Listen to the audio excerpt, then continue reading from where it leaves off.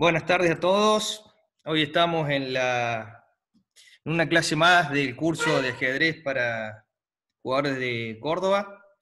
En esta ocasión tenemos la grata presencia de un ex, otro ex campeón argentino que, que nos viene a ilustrar un poco acá los cordobeses, que es el maestro internacional Martín de Bolita. Martín, bueno, además de ajedrecista, que ya vamos a pasar por, por sus logros, es eh, licenciado en Filosofía de la Universidad Nacional de 3 de Febrero. Tiene estudio de posgrado, una diplomatura superior en, Industria Automotriz en la Universidad Austral, una diplomatura en Energías eh, Renovables de la Universidad Austral también. Tiene la licenciatura en Economía de la Facultad de Ciencias Económicas de mm, la Universidad de Buenos Aires. Ha finalizado el cuarto año de la carrera y una maestría en Generación y Análisis de Información Estadística en la Universidad de 3 de Febrero, que ha iniciado este estudio en el 2020. Eh, en cuanto al ajedrez, se dedica al ajedrez desde el año 1988. Vamos a hacer una pequeña reseña de algunos de los títulos obtenidos por Martín, que son varios. En 1992 fue campeón argentino sub-16, en 1994 fue campeón argentino sub-14, logró un meritorio sexto puesto en el Campeonato Mundial Sub-14 en Hungría, un primer puesto en un Panamericano Sub-16 en el año 95, campeón argentino Sub-16 en el año 1996, campeón argentino Sub-18 en el año 1998, campeón panamericano Sub-20 en el año 1999. En el año 2000 fue ganador del Abierto en Mar de Plata, Copa Movicom, que, bueno, quienes estamos en la Argentina sabemos que uno de los abiertos más importantes que se realizan en Argentina hace muchísimos años. Premiado por el Día de Clarín como revelación en el ajedrez en diciembre del año 2000. Fue campeón argentino en el absoluto en el año 2002 y representante olímpico el mismo año en la Olimpiada de Bled, Eslovenia. Campeón federal sub-26 en el año 2003 y ganador de la Copa AFA de ajedrez por equipo en el año 2000 5 y eh, año 2017 y 2018 fue bicampeón de los Juegos Universitarios Regionales que se realizaron en la Argentina. Eh, ha obtenido el título de maestro internacional y en el 2017 recibió el de School Instructor, también título otorgado por la, por la FIDE. Martín, es un gustazo que, que estés acá con nosotros, te agradecemos enormemente tu colaboración con, este curso y bueno, te cedo la palabra para que arranquemos.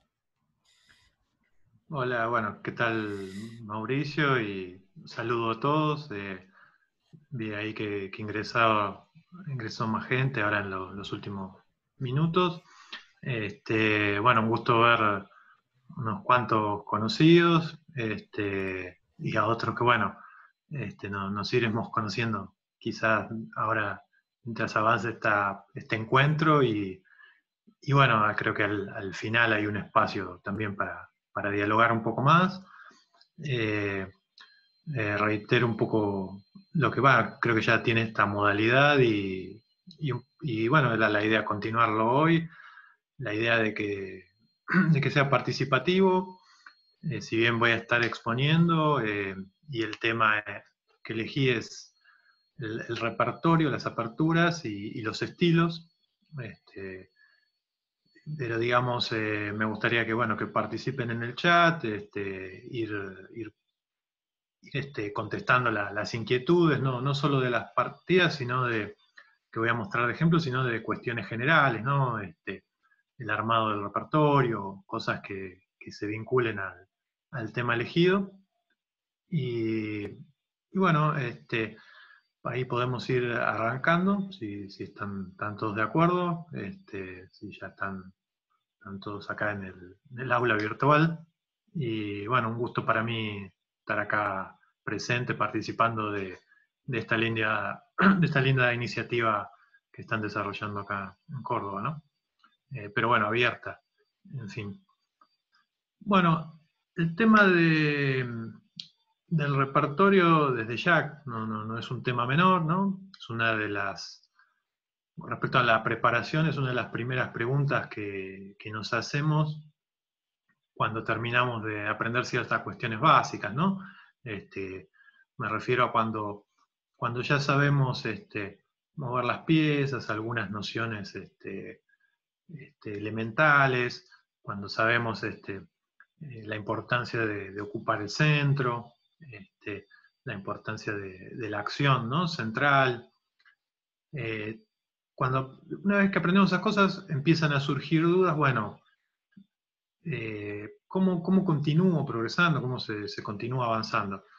Y ahí una de las primeras preguntas, sabrán, algunos lo sabrán más, algunos lo, han experimentado este, menos, pero, pero creo que está, debe estar presente en todos, es, bueno, ¿a qué le doy más importancia? ¿A qué le dedico más tiempo? ¿Qué priorizo? ¿no? Digamos, hay tres fases del mediojuego, apertura, mediojuego y final. Eh, la apertura y el final podemos decir que son las más estudiadas o que tienen un, estudio más exacto. Los, más leídos, los más este, los que te hayan este, más aventurado en darle una respuesta a estos, habrán visto la recomendación extendida, digamos, de, la escuela soviética, ¿no? que, siempre fue eh, una prioridad a los finales, ¿no? Este, era, eh, que es algo desde ya este, clave, y a la vez es algo que, cuesta, ¿no? Un poco eh, decidirse a estudiar finales, cuesta tomar la decisión es una, es una de las partes, por ahí a veces se torna más, eh, eh, puede tornarse abstracta, puede tornarse de, repetición, de memorización. Y, bueno, a veces este, para algunos jugadores no, tiene el atractivo que, merecen otras etapas del juego y por eso se posterga un poco ¿no? esa decisión. Obviamente, este, entre las cosas que le dedicamos tiempo está la táctica también, desde ya fundamental, y más asociada al mediojuego, ¿no? No es que no, se produzca en la, apertura, en el final, pero eh, ya está más, este, al, tener unas ciertas reglas por ahí este, más claras o unos órdenes más claros, la apertura y el final, resulta más sencillo este, pensar la táctica aplicada al mediojuego, ¿no? Entonces, le, damos importancia a la táctica. Eh, en el final a veces sabemos que hay que darle, hay que dedicarle un tiempo, pero bueno, lo, postergamos, no, lo hacemos, lo vamos eludiendo. al respecto, no, es el tema de hoy, pero bueno, hoy en día eh, les recomiendo mucho el, libro bastante popularizado, digamos, eh, de los 100 finales de, de, la Villa. Creo que al respecto del libro simplemente para agregar un poco más, no, no solo el éxito tiene que ver con, digamos, el armado, obviamente, desde ya, con la selección de, posiciones, y también con, creo que también con, la cuantificación de, la cantidad de, posiciones de finales que tenemos que conocer para desenvolvernos bien en el, o razonablemente bien en el final, ¿no? Entonces, este, son 100 finales, parece algo bien concreto, un proyecto este, realizable, y no sé cuánta gente lo terminará, pero bueno, mucha gente por lo menos lo, arranca con entusiasmo, este, es bastante conocido el libro y, este, bastante comentado, ¿no? Así que bueno, ese es un, para digamos dar algunas pistas respecto a cómo estudiar, encarar esa etapa del, del juego, este, me, animo a dar esa recomendación, aunque bueno, no, es el tema de la charla. Táctica también, ¿no? Táctica de medio juego tenemos este, bastante material. Y si bien no, es la idea, eh, no es la idea ni, hablar de un repertorio en concreto hoy, este, eh, sino más bien, y también dentro del, tema aperturas, hablar del, del, vínculo entre el estilo y la apertura, o sea, mi, intención es dar algunas recomendaciones para el diseño de, nuestro repertorio, pero bueno, más, más eh, hoy enfocado en el, estilo. Y, Y lo vamos a ver a través de dos partidas. Eh, en principio, la idea, creo que, el tiempo nos va a dar para, ver estas dos partidas. me gustaría verlas en detenimiento, como les dije, que, participen. Eh, esa creo que es la, idea fundamental, sino aprovechar esta oportunidad. Este, yo voy a estar atento al chat, a, todos sus comentarios. Eh, después, bueno, al final tenemos una oportunidad de dialogar más. Este, está, reservado ese espacio. Y, la idea también es hacer una presentación, ahora al principio, una, presentación breve de lo, que voy a ir exponiendo a medida que avancen las partidas, ¿no? porque eh, me voy a tratar de detenerme para que vayan asimilando un poco esas posiciones y bueno, entre jugada y jugada ir agregando cosas para que eh, no queden tan disociadas la, lo que es la, presentación y las cuestiones fundamentales de bueno, lo que es el, análisis por ahí un poco más concreto de estas partidas. Respecto al repertorio, lo que voy a decir es, voy a, referirme principalmente a dos jugadores que voy a, tomar de ejemplo, o a tres si se quiere, pero, pero bueno, eh, a priori voy a, en primera instancia voy a utilizar dos, este, dos nombres que creo que van a ser bastante conocidos. Pero, eh, uno de ellos es eh, Mijail Tal. Eh, necesita poca presentación. las partidas igual se van a encargar de, presentarlo, este, para el que no, lo, esté tan familiarizado con él. El famoso mago de Riga, ¿no? la verdad que un, creativo total en el, este, tablero, un, ajedrez único. Este, ya lo vamos a poner en, jugadas de, qué se trataba ese, ajedrez. Este, un ajedrez dinámico, este, eh, con pocos, eh, un estilo, digamos, una forma de jugar, de, concebir que, bueno, pocas veces se vio, y creo que no exagero si digo que se pueden contar con, los dedos de la mano, jugadores de su estilo y que, a la vez llegaron al nivel que llegó él, porque bueno, fue, fue campeón mundial, este, eh, lo ganó en 1960, lo defendió un año después, no lo defendió con éxito, pero bueno, este, pero se mantuvo en la cumbre gran cantidad de años. Y el otro jugador que quiero hablar es Mikhail Botvinnik, ¿no? Bueno, los dos comparten el, nombre.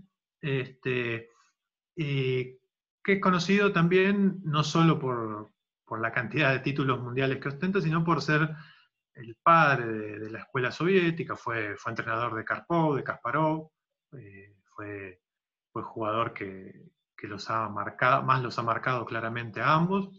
Eh, después, bueno, fue profesionalmente, fue, era ingeniero, trabajó en sus últimos años en, el desarrollo de, de, las computadoras de ajedrez, tuvo una participación activa. Y y bueno, y los dos tienen, vendrían a ser como extremos, ¿no? Este, tal ese juego creativo, dinámico, táctico, o sea, sus partidas llenas de sacrificios.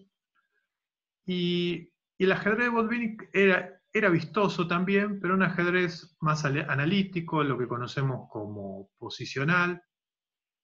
Y el repertorio de ambos en la, apertura se reflejaba de una manera similar. Y esto es importante, ¿no? Y ya cada vez nos metemos más en el tema repertorio. Mientras que Botvinnik creaba su, repertorio, este, Botvinnik, de hecho, en sus libros podemos encontrar un montón de recomendaciones. Este, eh, si, voy a, lo concreto de vuelta, al tema aperturas, él recomendaba tener tres sistemas distintos, tener eh, uno, uno bien, bien estudiado en profundidad, un segundo este, un poco menos, pero, pero, bueno, que tenga un poco de, efecto sorpresa. Y un tercero, bueno, que, por una cuestión de tiempo, obviamente, probablemente no, estaría tan, tan desarrollado como los otros dos, pero bueno, que también lo mismo, ¿no? Permitiera tener este, este, efecto sorpresa sobre los rivales. En las preparaciones que, que si bien piensen que él lo decía eso, estamos hablando en 50, 60, 70, ¿no? que fue, su, época. Piensen que, no estaba tan desarrollada la teoría, que no existían los módulos, las bases de datos, lo que estamos usando ahora, ¿no? El para ver esto, no existía el Lichess, chess.com, chess24, ICC y tantas otras, ¿no? Este, que, frecuentamos para, jugar. Y sin embargo, él hablaba de un, repertorio amplio, que a la vez el repertorio amplio era profundo, y ahí ya hay un contraste con tal, en el cual si vemos a tal, el libro, este, su libro al ataque es este, fabuloso, hermoso para leer, tiene, tiene sus recomendaciones, pero era un jugador más práctico, ¿no? Y, este, y él adoptaba, este, chequeaba las ideas que existían al momento, pero no era de, aportar grandes novedades, de, crear, encontrar nuevas jugadas, cosa que sí lo era Botvini. Pero bueno, paso ya un poco al tablero, ¿no? Porque mi idea es este, que no quede tanto en una charla expositiva, sino que ir agregando cuestiones a medida que, avanzan las partidas, ¿no? Entonces, bueno, empiezo y tenemos acá una Carocam, ya están viendo sobre el, en el, sobre el tablero. Las dos partidas van a ser Carocam. Eh, no es casualidad, eh, porque el tema, como dije, es este, tiene que ver con el, repertorio en base a los estilos. Y nosotros, si bien luego buscamos tener un estilo universal, a medida que, que vamos este, que vemos que se va, aumentando nuestro nivel, que, nos convertimos en jugadores más completos, apuntamos a eso. Eh, si bien cada uno va, buscando, haciendo su propio camino y, es lo que debería este, hacer, pero, pero que uno trataría de que no, se reconozca la, eh, la, marca de uno, ¿no? Este, que no esté la, psicología de uno en la, partida. Bueno, Fischer tenía esa, esa famosa frase de que no, no jugaba contra el rival, ¿no? sino que jugaba, este, este, buscaba siempre hacer la mejor jugada. ¿no? Y, el estilo, si bien podemos distinguir fácilmente un estilo de un Petrosian, podemos distinguir un estilo de tal, el, estilo de, Fischer se podía distinguir, pero, pero justamente porque hacía bien todo, ¿no? De alguna forma. Este, se equivocaba, obviamente, no era una máquina, pero pero jugaba bien las aperturas, los finales, este, jugaba bien todas las instancias y bueno, jugadores más, más completos, ¿no? Hoy lo tenemos a, Magnus, un jugador también este, sumamente completo y equilibrado, aunque de diferentes características. Si da el tiempo, un poco hablo de, él. Eh, pero en principio, acá estamos bien, vamos estamos por ver a la partida de tal de blancas, Botvinnik negras, es del campeonato mundial que gana tal. Y Botvinnik se reconocía como un jugador que, que no, para su nivel, ¿no? El, nivel de jugadores que enfrentaban, no era bueno en táctica. Este, él no se consideraba fuerte en táctica, eso aparece para quien lea, están los tomos de mis, mis selectas, son tres tomos. Este, pero que valen la pena, parece bastante, pero valen la pena. Si, si alguien va a leer algún libro de Selectas, ese debería estar en el listado. Este, y, él reconocía esto y, acá se enfrentaba a uno de los jugadores más, más tácticos, de, no solo de su época, de, todos los tiempos, ¿no? Spielman, Girov y Desmetinov y, y bueno, ya después este, habrá más, pero no, hay que ver el nivel, ¿no? Tenemos que, responder a eso también. Entonces, ya la, jugada que elige en el, segundo, para la segunda, fíjense que es caballo C3 y no la más popular de 4, la, segunda partida va a ser de D4, una jugada que, no es la principal. ¿no? Este, la principal es este, es el, juego abierto que surge tras D4. Puede transponer acá, en realidad vino D5 y vino caballo F3. Eh, entonces, esta línea no es la principal, ya estamos hablando de un campeonato mundial. Este, uno podría pensar, bueno, eh, pensaba sorprender, tiene algo preparado. No parece el caso por lo que fue la partida, por lo que fue el match. Este, recién, aparentemente, Tal le, habría dedicado más a las aperturas a partir de un entrenamiento que hace con, con Kasparov, que, obviamente, sin lugar a dudas, benefició a ambos. Este, Kasparov era otro jugador, ¿no? Que, este, que tenía una gran preparación teórica, este, y eso se, notaba enormemente, ¿no? Sino eh, incluir en el repertorio, y ahí va una recomendación interesante, ¿no?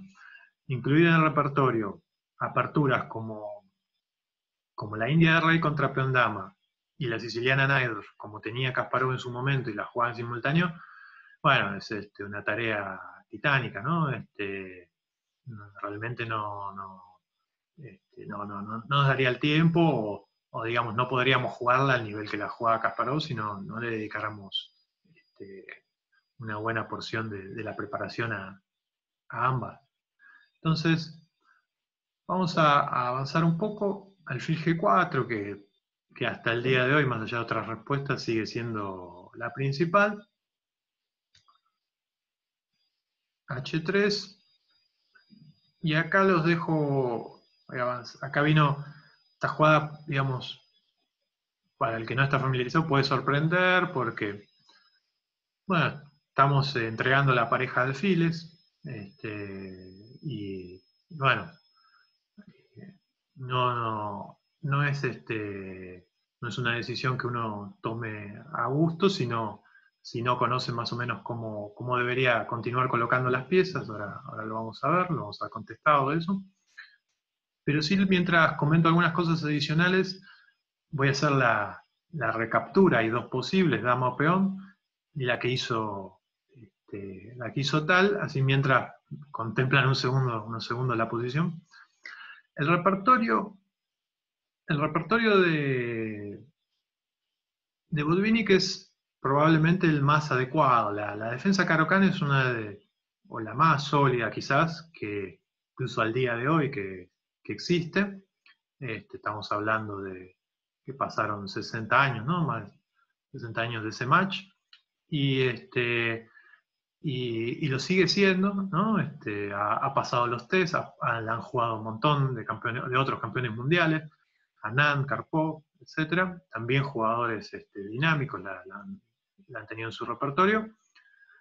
Y, probablemente sea la, la elección la elección correcta contra este tipo de jugador. La, partida, la segunda partida que les quiero mostrar es una partida que va a Keres de negras, eh, elige también la Carocam. Eh, Keres le ganó a Fischer dos veces con la Carocam, o sea que vean lo, que estoy, piensen la, la, dimensión de lo que estoy comentando. Keres, eh, recuerdo, ¿no? Este es el famoso, uno de los famosos, pero son pocos iguales, un club de pocos miembros, este, campeones sin corona, este, estuvo muy, muy cerca en su momento, y bueno, un nivel extraordinario, pero, pero le quedó, le faltó poco. Y, bueno, estos, estos resultados lo, evidencian un poco. Y, claro, esta captura con peón, que, yo incluso la jugué en su momento, este, este era parte de, mi repertorio contra la Carocá, también porque, bueno, este, de, negra jugaba la Carocán, entonces este, la, conozco. Y, me parecía que bueno, era, era interesante para, sorprender cada tanto y bueno, y, este, y llevar a posiciones nuevas, ¿no? No para tener este, el repertorio habitual. Pero es una línea que, de hecho la, usé unas cuantas veces y, me fue bien. Este, pero no es una opción que, que recomendaría, ¿no? Tampoco aclaro eh, si bien las partidas son de, de Carocam, de vuelta, ¿no? Esto es, una, charla, digamos, necesitaríamos más tiempo para, definir un repertorio, dar recomendaciones, y tendría que ser de acuerdo al estilo actual de cada uno, este, a, los intereses de qué tipo de, partida les gusta, las características de cada jugador. No es una oda a la Carocam, es una, de las aperturas más importantes. Este, si voy al caso de, bueno, Boldini jugaba la francesa, fue uno de los que aportó mucho a esa apertura. Jugó la Dragón también, hablando con, de Penrey nada más. Y, y Querés, bueno, jugaba más la, española, ¿no? Que, que bueno, con los resultados también que, uno lo vio obtener con la Carocán, un poco llamaba la atención que, fuera más una segunda apertura que una primera, pero bueno, la, española sabemos que es una apertura que hoy, aún hoy en día ¿no? tiene gran reputación. Pero bueno, ahí, ahí lo mismo, ¿no? Que, por lo que estamos diciendo, ahí vemos que quizá era más adecuada para su estilo este, la Carocán, aunque si bien él tenía quizá una apertura quizá objetivamente, no, sé si es la palabra, pero más correcta con la, española, ¿no? Vamos a avanzar un poco más con esta partida. Vamos a ver cómo, lo interesante que quiero que le presten atención es cómo, cómo va a neutralizar, o intentando neutralizar todo esto, eh, Botvinnik de negras, y cómo va tratando de echar más leña este, eh, tal, ¿no? Entonces vino 6, esto es típico, ¿no? Lo, pueden ver en una IMSO India también, apenas desaparece el alfil, ese, ese se intenta reemplazarlo poniendo los peones en, las casillas del mismo color. D4, ahora sí va, va por el centro, caballo, fil F4, va clava, la idea es este, presionar un poco sobre el punto E4, podría luego con, caballo F6, este, hay, bueno, diversas ideas. Obviamente la idea también es poner el juego el alfil antes de, desarrollar el caballo. Este, la otra idea de desarrollo es por E7. Y está, está la posibilidad desde ya de que, de que entregue el segundo alfil, quedarían dos, este, dos columnas con peones doblados, ¿no? la F y la C, y bueno, quedaría una partida de pareja alfil contra pareja de caballos en una posición más bien cerrada, ¿no? que este, en un principio uno lo pensaría más favorable al negro. ¿no? H4, este, hay otras jugadas, no, le importó en primera, en primera instancia, no, no le quitó el sueño a, tal que, le amenazaran doblar peones. Este, uno, podría decir, si, si, intenta meterse en la cabeza de tal, y bueno, él quizá está, es más, probablemente estaba pensando en regalar alguno de esos peones, eh, que le abran la columna B y se suma la, ya la columna G abierta. Este, entonces ya tiene dos, líneas para que, para que entren en juego sus piezas y, y desencadene ese, infierno que, tanto le encantaba a él. Y, bueno, y eso, ¿no? Quizás entregar alguno de esos peones para que se activen los alfiles también. Entonces, eh, razonamiento típico de, tal podría ser, y, lo es en ciertas posiciones, es el correcto.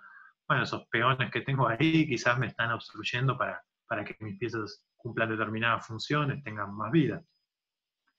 Bueno, acá caballo F6, buscando una definición también en el centro, este, porque amenaza a ganar un peón en E4.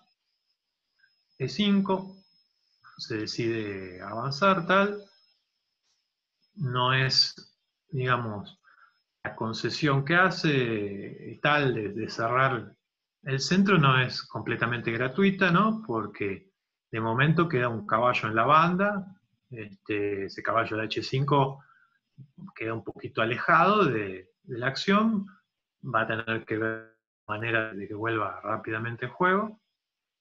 Y bueno, el blanco intentará aprovechar eso. Fije 5, dama 5, alfil de 2. Ahora, a partir de ahora intentará ver.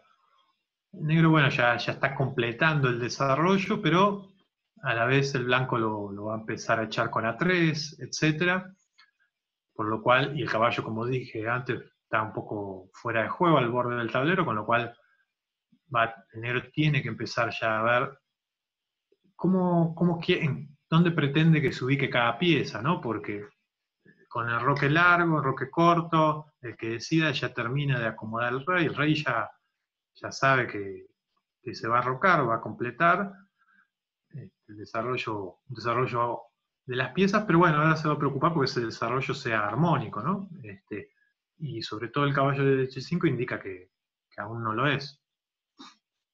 Dama B6, no, digamos, ahora que, que me van a recapturar de alfil en C3, eh, saco la, dama de esa diagonal, que el alfil de D2 le apunta, y bueno, no voy a tomar en C3 porque eh, ya ahora no sería tan favorable ese cambio, ¿no? Quedan debilidades por las casillas negras. Entonces se retiró, estaban los dos peones tocados, ¿no? De, de 4 y A3, defiende uno directamente, porque ahora el alfil defiende D4 y la dama también, indirectamente el de B2, si lo capturan existe caballo A4, ¿no? Entonces queda, acá, queda atrapada la dama, por lo cual está, envenenado ese peón.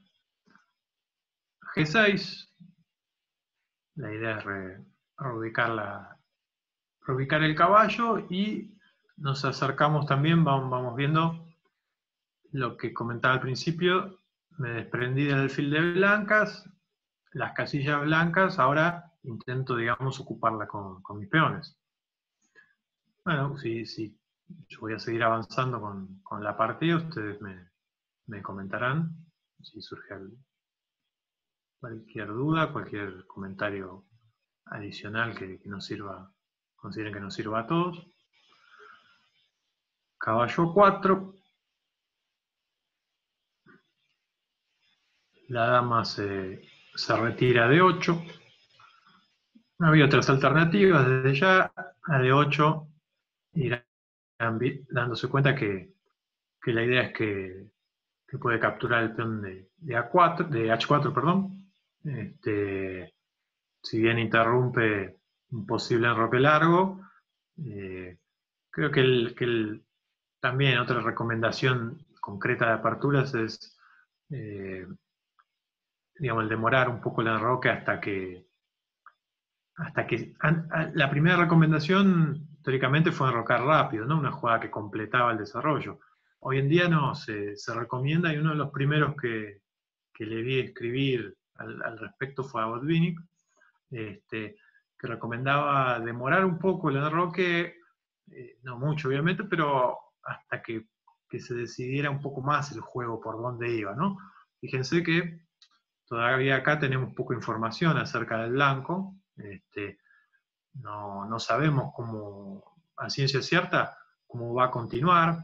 Incluso la jugada caballo a 4 quizá nos tomó un poco por sorpresa. Uno de los posibles planes. La posición aparte es, eh, es dura, ¿no? Digamos, tiene una posición bien sólida Botvinnik, típica a su estilo, y típico de lo que más le debe molestar o incomodar a, a tal, ¿no? Eh, las rupturas no son sencillas, las rupturas que tiene a disposición dejan debilidades eh, e implican decisiones importantes. Entonces, dama de dos, de vuelta encontramos otra defensa este, ingeniosa, indirecta. Eh, acá la dama quedaría fuera de, combate este, si, capturan en H4, puedo tomar de torre. No, si, perdón, por H4, torre por, no estoy equivocándome. Y alfil acá, y si bien la dama no, está atrapada, es, bastante peligroso. Este,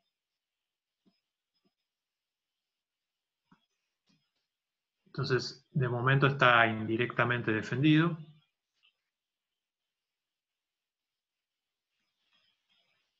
Entonces, caballo G7, buen momento para que el caballo vuelva. Alfil G5. Obviamente, capturar permitiría que se abra la columna H, quede en la mira el peón H, no, es deseable. Más que bueno, se, este, quizás se debilita en una, una favorable las casillas negras, ¿no? Este, desde ya que es medio inevitable, casi, digamos, inevitable que, se cambien los alfiles, aunque era una, buena oportunidad acá, alternativa, digamos, al menos que merecía atención, eh, jugar 6. Este, peón por, y creo que, de las dos piezas se podía tomar. Este, el caballo luego iría a F5, este, y el negro tiene una, posición, incluso capaz que esta era una opción preferible. Si no me detengo en esta jugada porque eh, no es una, B5 era otra alternativa, ¿no? Este, B5, y no me detengo porque me lo imagino a, a contento con la jugada que hace, este, desde el punto de vista psicológico, ¿no? Este, eh, la jugada es correcta también. Este, quizás más correcta sea alguna de las otras, pero es una jugada que está bien. Ahí vuelvo a, las variantes, pero es una jugada que está bien, pero con eso se elimina, ahora elimina los peones H, confía, ahora lo vamos a ver bien, pero confía en entrar en la columna H, lo cual es una apreciación correcta. Eh, la secuencia que viene le permite obtener unas cuantas ventajas, eh, pero quizás era para considerar, en vez de lo que vino la partida, el fil por, por E7, dama por, y el fil de 3 para el blanco. Eh, digamos, más, más, más correcto, pero quizás no, no, acorde al estilo de tal, ¿no? Entonces H6, desde ese punto de vista, está bien. Alfil por, alfil. Y si bien desaparece este peón que era un peón aislado, un peón débil, no, hablamos bastante más de, los peones doblados, pero no, no, de ese peón que también era un, objetivo, el de H4.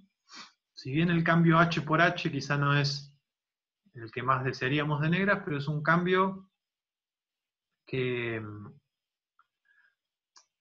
digamos, le permite activar, entre otras cosas, al caballo. En principio, ahora hay una amenaza concreta en F3 y hay, más amenazas este, dando vuelta.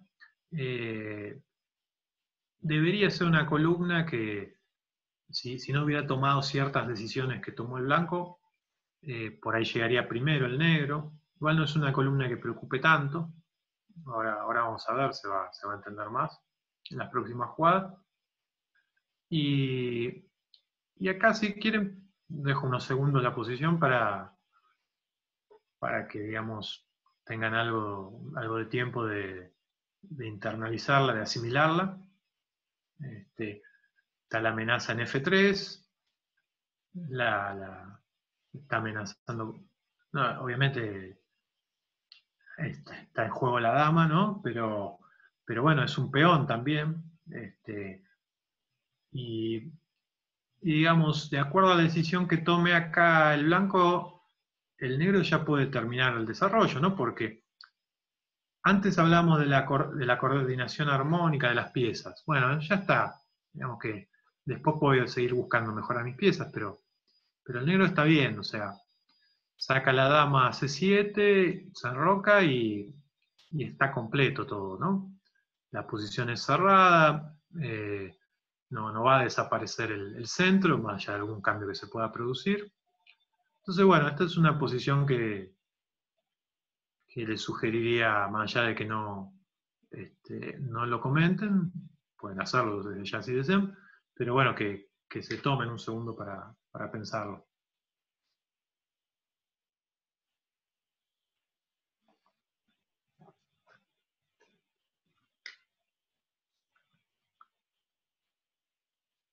se imaginarán un poco la, la decisión de, tal. Entre sus opciones, no sé qué tan rápido lo haría, pero, pero bueno, las, las jugadas pasivas, si él consideraba que había una alternativa más activa, eran descartadas rápidamente. Y acá, bueno, la, alternativa más pasiva es defender el peón, porque este enroque largo que hace implica dos cuestiones. No solo el peón de F3 que veníamos hablando, sino que tras B5, que es la jugada que... Vamos a poner igual caballo por F3 primero, ya, ya que está. Podría venir dama de 3, caballo, alfil, dama 5, y si bien llegaría en este caso primero el blanco, eh, perdón, el negro a la columna H, este, bueno, no, no, no es claro quién, quién la va a obtener, eh, la posición ya que es buena para el negro, a todos nos gustaría tenerla, es, sólida y buena, o sea, con, con firmes intenciones y, este, y fundamentadas ¿no? para intentar el, triunfo. Y, y, uno se preguntaría por qué no se decidió por esto, si no fuera porque la otra, la otra opción que tiene en carpeta, que tiene disponible, es B5.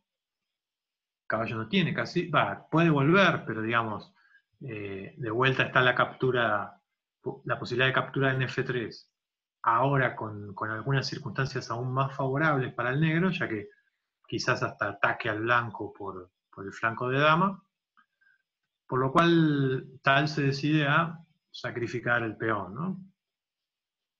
Entonces, ahora vemos que se activa un poco más el alfil, o sea que no, de alguna manera se multiplican los problemas.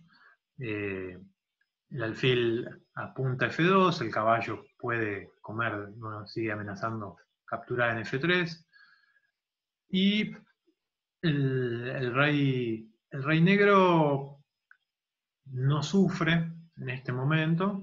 Este, está, lejos cualquier ataque, aunque bueno, tal se va a ocupar de, de, generar algo, ¿no? Este, el rey parece que simplemente, como hay pocas piezas y, cada vez se está simplificando más, aparte se van activando las piezas negras, parece muy difícil de, salvar esto. Entonces vino alfile 2, alfile 7, bueno, había, había algunas alternativas. Eh, quiero agregar a esto que, que, desde ya que es un éxito de la estrategia negra, ¿no? Porque más allá del resultado final de la partida, este, que, bueno, cosas similares sucedieron más de una vez eh, en ese match. Eh, el negro acá está mejor, una posición que, nos encantaría estar a nosotros, y bueno, tiene que ver con, lo que generaba, lograba tal, este, que, esto no terminara en un triunfo para el negro, ¿no? Y ahora vamos a ver en, en concreto dónde fue que termina de dejar escapar eso.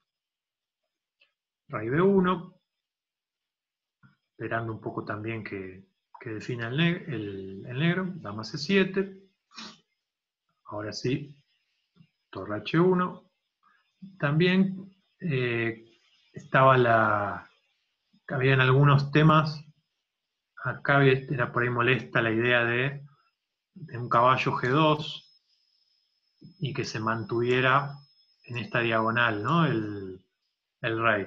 Entonces, tiene que ver también un poco con, eso, esa, esa, retirada de la diagonal, esa jugada que, que en un momento, con peón de menos y en un momento clave, este, parece una jugada modesta y por ahí inadecuada para la situación, ¿no? Torre H1, ahora sí, roque largo, alfil G3, caballo F5. Había que no se podía sostener durante mucho tiempo ese caballo, bueno, o, traía, digamos, caballo acá es la, principal jugada, si el negro tiene la intención de, ganar, aparte es una jugada lógica, eh, estoy queriendo eliminar el alfil que defiende 5, y, si bien esta jugada, con esta jugada empieza a activarse el negro, y no es lo más recomendable acá introducirse en esta variante, caballo por G3, peón por, dama por y torre por, donde ahora sí, además, hay objetivos, ¿no? Para, para este peón, para este alfil, ¿no? Estos dos peones, más la séptima, entonces hay que tener cuidado.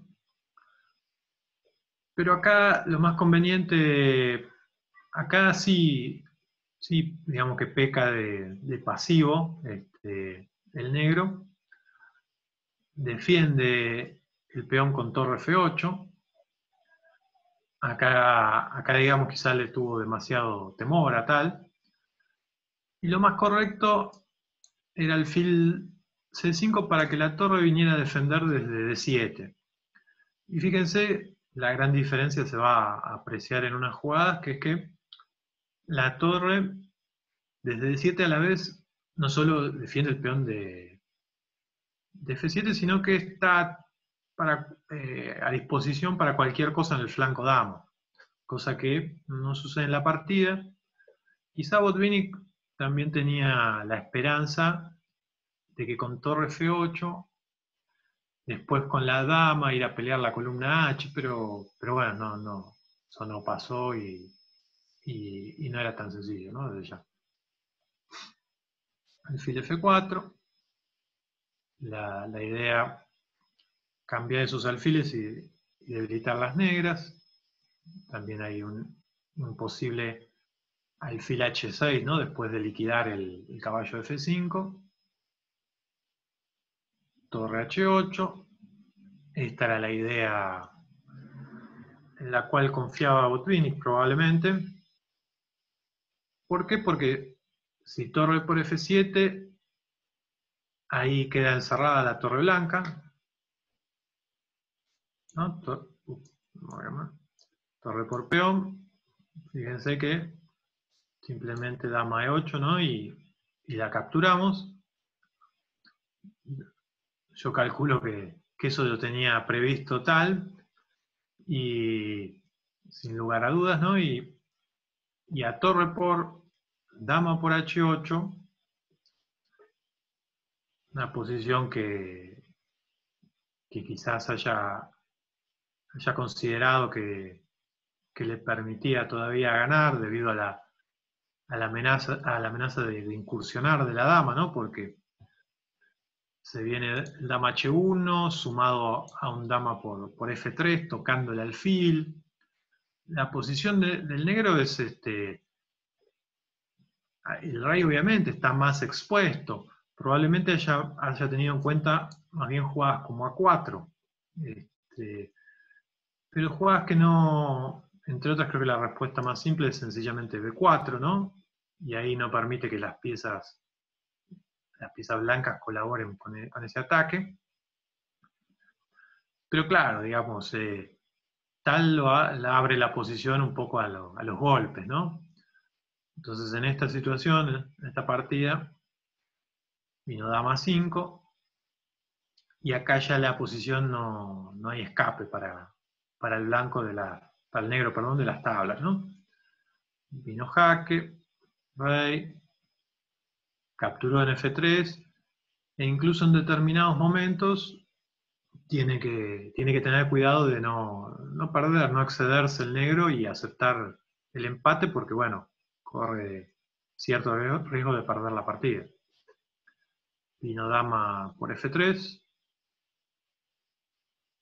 alfil por, perdón, primero vino el jaque, están tocadas las dos piezas. Este, esta también, este también es un, esto debería incluirlo. Esta jugada sencilla puede ser este, de jaque tan simple, puede ser también lo que se le haya escapado a, a Botwing, ¿no? Eh, tal este, era lo que, lo que mejor hacía esto, si bien la posición, eh, digamos, es calculable para, para quizá una gran mayoría de, jugadores.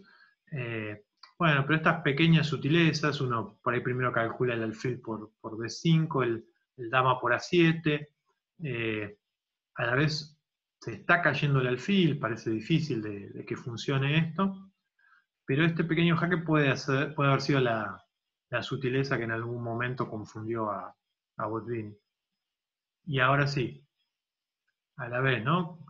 Esta captura en C6, la conjunción de las dos jugadas, si ustedes revisan esto van a ver que no, hay forma para el negro de, escapar de las tablas. Entonces dama por, no, hay más alternativa tampoco. Alfil por B5. Podía incluir esta también, ¿no? En el tridente de, jugadas. Este, pero creo que dama por B5 hace tablas. Este, las dos funcionan. no, acá ya no hay, no hay escape.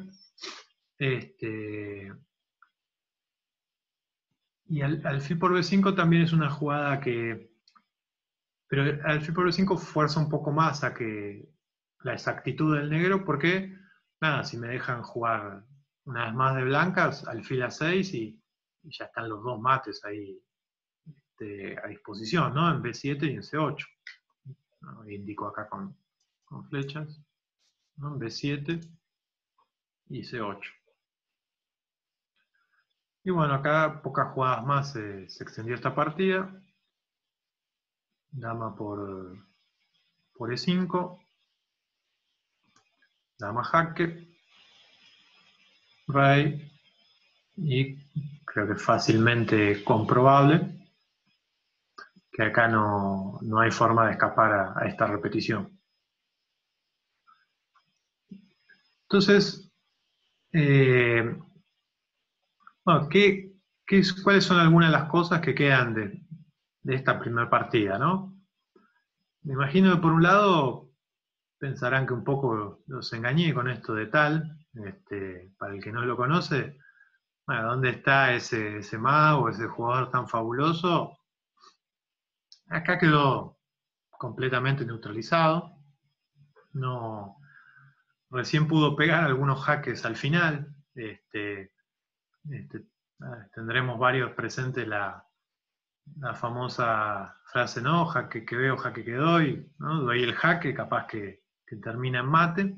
Este, y bueno, recién acá pudo, pudo dar un par de jaques eh, este, ya sobre la hora, ¿no? Una pieza abajo. Pero esos jaques no, alcanzaron más que para unas tablas. Eh, realmente una gran demostración de Botvinnik, este, posicional. Eh, bueno, de esos, de esos partidos, ¿no? uno puede pensar un partido de fútbol si lo llevamos, ¿no? Eh, yendo a la, tradición futbolera nuestra, esos partidos donde el equipo que venía goleando, de repente vemos que no, logra ni patear al arco, ¿no? O sea, o, patea, pero, pero, se va lejos, ¿no? El arquero no, no, lo hacen transpirar. Y, y, eso me parece que es un poco lo, que se ve en esta partida, ¿no?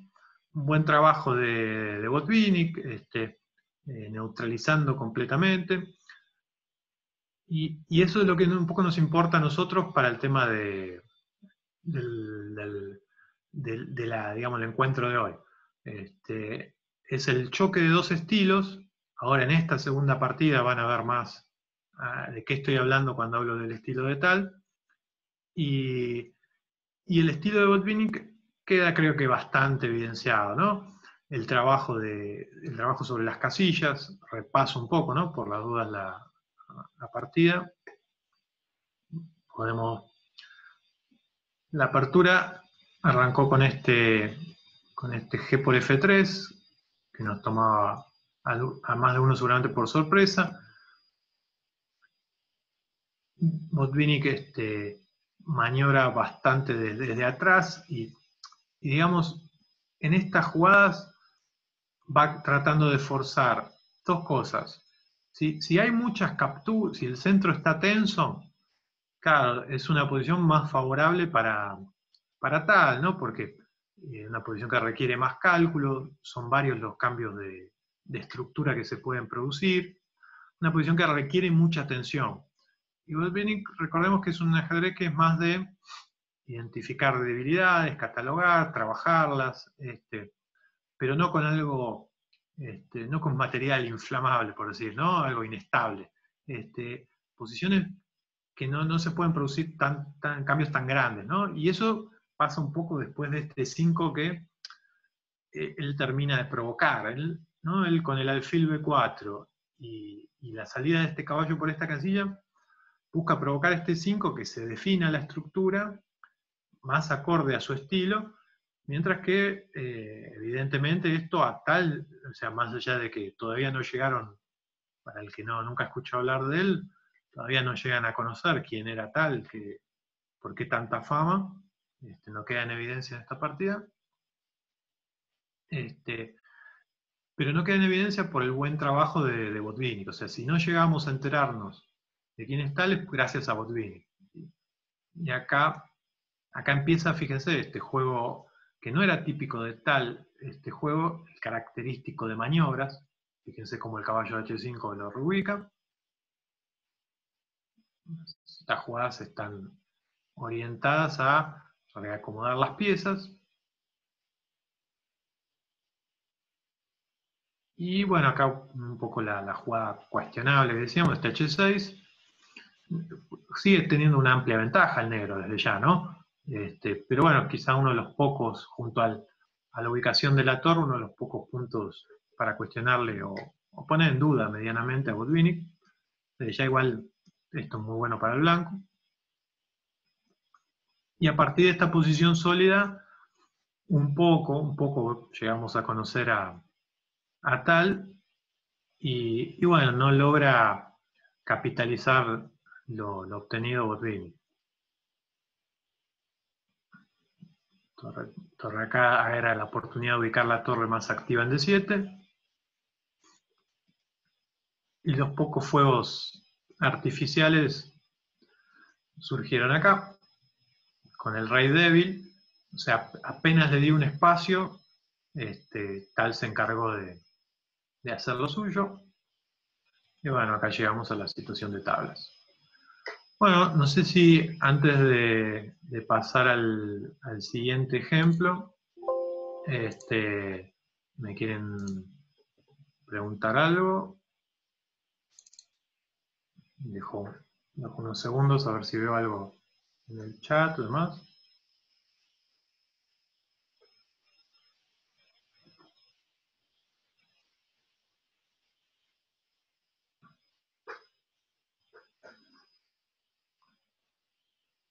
Bueno. Este.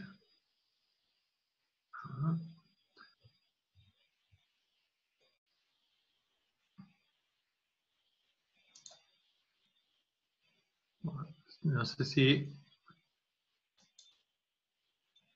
Creo que ahí se, se reanudó, ¿no? Va a confirmar, no sé si se reanudó el compartir pantalla. Si alguien, Mauricio, alguien me, me confirma. Hola Martín. Sí. ¿Me escuchás? Sí, sí, Jorge. Bien, bien. Eh, ¿Puedes poner la posición eh, cuando juega tal torre H7? Sí, cómo no.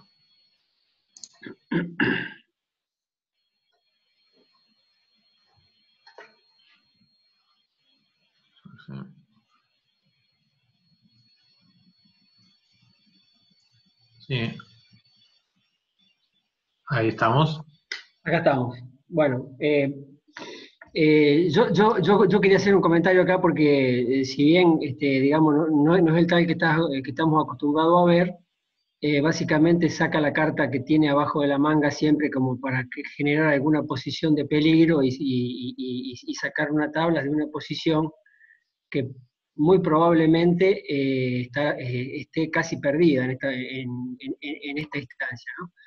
Eh, si, si, le hubiera tocado jugar a tal en este momento, con las piezas negras, es muy probable que tal haya jugado caballo por G3, eh, caballo por G3, haya tomado en E5 y después de que el blanco tome en F7, a pesar de que tiene algunas debilidades porque deja los peones en blanco y todo, podría haber jugado alfil F6 amenazando mate directo y probablemente obligando, obligando al blanco a jugar C3, que debe ser eh, una jugada única o debe ser alguna de las únicas, porque dama B4 podría venir a 5, desviando la dama y bueno, generaría algunos problemas por ahí.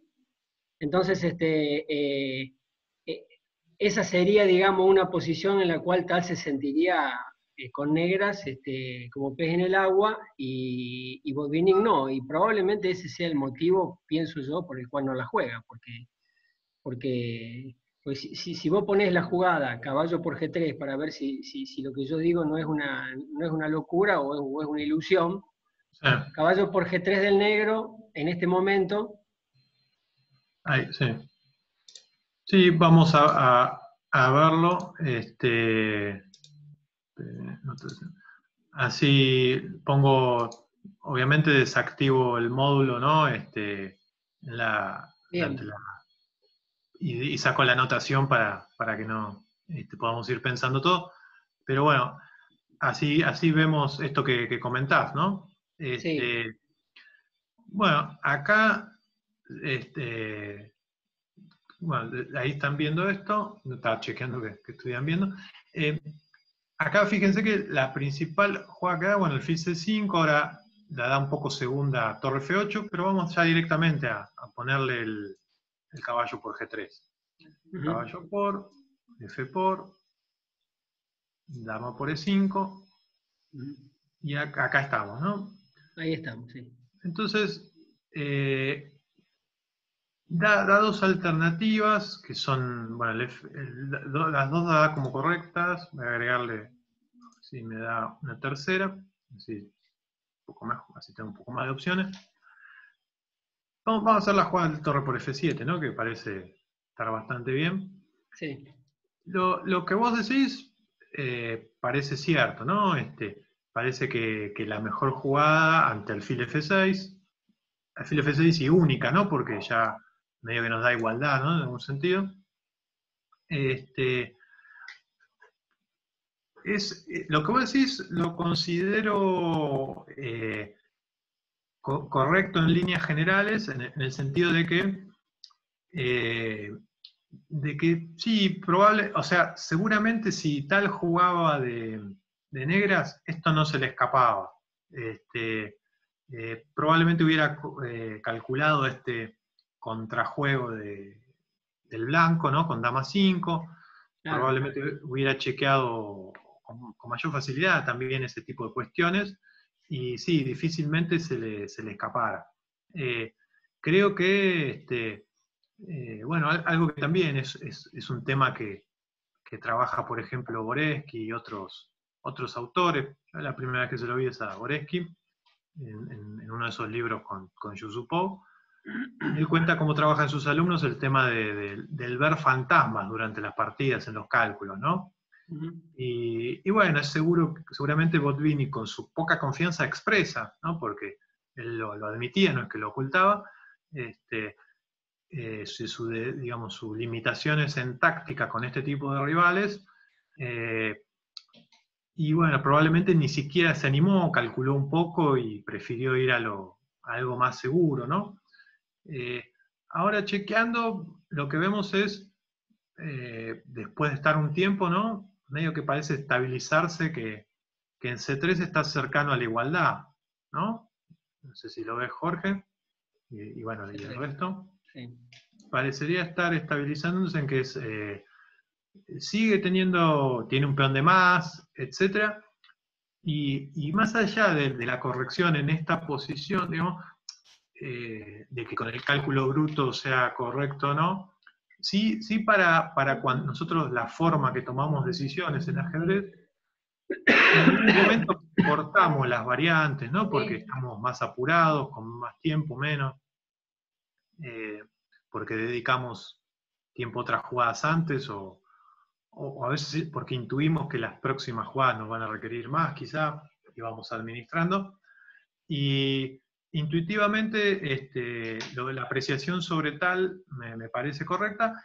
Este, en la posición sigue manteniendo ventaja, pero disminuyó. Y intuitivamente creo que no, esto se, la torre activa por la séptima, eh, el rey sigue estando débil, ¿no? O sea, nada impide que, yo juegue, por ejemplo, una amenaza del negro, probablemente sea este A4. E incluso por ahí el detalle que faltó, por ahí eh, quedó pendiente de, profundizar antes, es que el negro ahora no tiene tanto tiempo para hacer algo porque se viene el F4 blanco, ¿no? Sí. la pieza en el aire, o la pieza complicada. Claro. Si yo hago una jugada tranquila, viene F4, si hago una jugada mala, por decir, acá, y bueno, F4, jaque, y eh, pensé que el alfil de 3 era todavía más fuerte, pero no, dama C2 parece la más fuerte y está, está el alfil ahí en el medio, ¿no? Está la torre en C, fíjense que ahora, bueno, clara ventaja blanca esto. Eh, pero más allá de, digamos, está, está, muy bueno el comentario, este, independientemente de la posición, creo que, que yo estoy seguro que sí, probablemente no dejaba, con, la decisión que fuera, pero no dejaba pasar esto, eh, la, oportunidad de la posición con peón de más y, posición sólida eh, tal, eh, seguramente lo hubiera logrado imponer. Y, y, esta implica, implica cierto cálculo, ¿no? De hecho nos implicó acá nosotros un, poquito de, la ayuda un poco del amigo módulo. Sí, pero el este blanco, el, blanco, el blanco en esta posición este, realmente creo que es una, que una apreciación errónea la que yo hice, porque el blanco en esta posición, digamos, este, bueno, solucionó todos sus problemas, tiene, tiene una torre activa, que el negro tiene el alfil amenazado, y bueno, está complicada la cosa. Está complicada. no, no, hay, no hay, digamos, no hay nada definitivo. Yo, yo pensé, eh, yo pensé que cuando, cuando, cuando jugaba C3, D4 podría ser una jugada importante, pero, pero D4, bueno, tiene el problema este que, tiene F4. Sí, eh, y, ojo también que con una jugada como D4, si, no hay algo táctico, ¿no? Este, que, permita el, triunfo, se empieza a simplificar hacia un final de, alfiles de distinto color, donde, este, donde vos fíjate que ojo que C por D y dama C2 y otras jugadas las da como admisibles, ¿no? También. Este, sí, sí, sí. Entonces, la posibilidad del, del final de alfiles de distinto color es lo que permite que el negro, perdón, que el blanco este, sobreviva, ¿no? Bueno, y la amenaza más concreta de F4 le permite que, en algún descuido del, negro hasta ganar, ¿no? Este, pero la, apreciación está, es oportuna, más, más que oportuna. Bien, bien. Está claro, Martín, está claro. Está, perfecto. Te agradezco mucho. Bien. No, gracias por. Ahora, ahora silenciame de nuevo el micrófono. Mauricio se encarga de esa. Ahí está. Ahí está. Bueno, ahora voy a, a pasar a la, a la otra partida. Bueno, esto después queda, queda guardado, se, los comparto lo, lo que vimos hoy. Eh, bueno, y, si pueden confirmarme que, que ya están viendo, digamos, la segunda partida. Ah, Martín. Sí. No, ahí seguimos viendo la vieja. Debe ser porque eh, tenés que compartir toda la pantalla vos. Eh, Por eso debe ser que todavía tenemos, vemos fíjate que cuando queda compartiéndose esta pantalla. Cuando vos pusiste compartir, queda compartiéndose esta pantalla. Eh, bueno, dejo, dejo de compartir y... Claro, hace así, o si no, la otra forma, cuando vos pongas compartir, pone, en lugar de dejar el básico, pone avanzado, y ahí te va a permitir, fíjate, compartir. ah, está bien. Pone compartir parte, parte de pantalla, ahí está. Ahí está. Ahora lo estamos viendo, pero muy en grande. Tenés que, agrandar la, imagen que vemos nosotros. La, expando. Claro, expandilo, dale, ahí lo expandiendo. Ah, expandilo eh, para abajo, porque abajo no, no, vemos medio cortado. Ahí está. Ahí, está, ahí está, ahí está perfecto. Bueno, fenómeno, bárbaro. Este... Bárbaro, ahí. Bueno, muchas gracias por las indicaciones. Bueno, entonces tenemos otra vez sopa, ¿no? Este, lo lamento para los amantes de, siciliano, otras aperturas. Este, eh, bueno, si, alguien quería preguntarme más algo de, esa partida, al final este, al final eh, me pueden de vuelta escribir y al final de esta volvemos a, conversar. Y, pero sí, ahora van a, ahora van a conocer a, al tal que, también este, mencionaba Jorge. Ahora y, nos encontramos también con una, con una Carocam más típica, ¿no? las más tradicionales. O sea, la, otra posición típica de Carocam no, no, es la principal capturar acá, pero este tipo de estructuras es la, las que nos dan. El blanco tiene más espacio, pero bueno, el negro generalmente tiene una posición sólida. Acá vino alfil F5. Otro jugador que, me acordaba ahora, bueno, Peter Leco, su campeón mundial. Kasparov escribió un libro sobre la Carocam, eh, que, es un, un, gran libro y ahora está desactualizado, pero pero ese libro en su momento le habían pasado, no sé, 15 años y, seguía actualizado, lo cual era algo atípico, ¿no? Para un libro de, aperturas. Pero bueno, era un, gran trabajo ese libro de, de sobre la Carocam. Entonces, acá vino bueno, el fil de tres rápidamente. Hoy, hoy en día estamos más acostumbrados, que igual existen las dos opciones, ¿no? Pero para echar primero al alfil, ganar un tiempo, no es un tiempo, más bien ganar un poquito más de espacio con el peón y, recién ahora dar, ofrecer este cambio de alfiles que es una propuesta indeclinable, ¿no?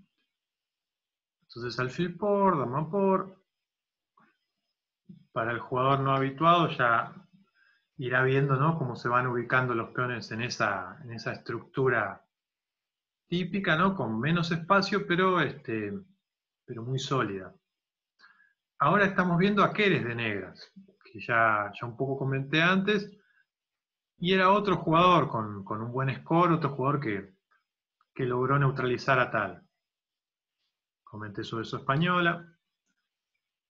Dama 5, jugada para jugador de Carocán una maniobra conocida. El blanco tiene dos opciones, tapar de peón o de alfil. La idea cuando tapan de alfil es que la dama vuelve y controla, digamos, desplazó el alfil de esa casilla, de esa casilla activa. Y bueno, está disponible en el roque largo. Acá vino C3. Obviamente la dama también al, jugar CC3 y no expulsar la dama con el alfil, dificultan el roque largo, ¿no? Porque queda el peón de A2 en el aire. E6, en roque largo, eh, perdón, corto. Alfil E7, completa su desarrollo el blanco. Torre 1. Acá suele ser una, una disyuntiva en este tipo de posiciones, ¿no? Para dónde llevar el rey, el negro. Por un lado, para el, para el lado largo, bueno, me van a tirar los peones y el alfil apuntando. Y por el lado corto aparecen este tipo de jugadas, ¿no? Como la que, vino ahora. También, ¿no? Me, demoro unos segundos para, para que vean la posición con más detenimiento. Pero a primera vista, bueno, me van a... Ese caballo me lo van a cambiar por el alfil, parece. Y, pierdo mi... Ese alfil que cuida, controla las casillas negras. Un caballo que si no, parecía que el destino era cambiarse por el otro caballo. Y bueno, se seguía simplificando la posición y no,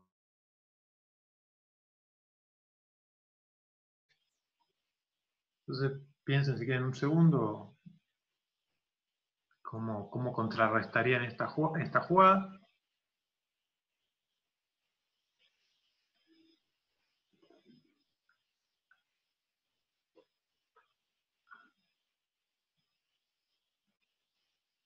En realidad hay, dos opciones correctas, ¿no? Este, en este no siempre son posibles las dos, ¿no? Eh, se llega con distintas variaciones a, estas situaciones y y a veces no, alguna de las dos, o las dos, ¿no? No, son, no son favorables. En este caso sí, este, tomar de dama no, es así que, llevaría una mala posición. Este, pero sí están disponibles tanto la que vino en la partida como peón por, torre por. Me, quitan el alfil y se dobla peones, pero después de esta jugada, y, avanzo incluso algunas más para que vean. Eh, torre 1, acá ya torre 8, y se simplifica la posición y este peón de F5 me permite controlar esta casilla importante. Y, de vuelta se juega un poco de lo, que veníamos hablando de la caro acá. Peones doblados, sí, alfil para el blanco, pero posición muy sólida que, el negro supera la prueba, ¿no? Acá no, pasa nada. Si torre por E8 era otra alternativa, simplemente torre por y ahí juego activo por la columna, la casilla de 4, de 5, el negro está, impecable acá. Entonces, esta es otra opción. Torre 8 la principal, va la, línea que se siguió en la partida. Y y acá yo les, yo muchas veces en esta partida lo que suelo hacer es de, decir, bueno, este, acá ustedes, si ustedes ya conocen a tal, se imaginarán qué hizo, ¿no?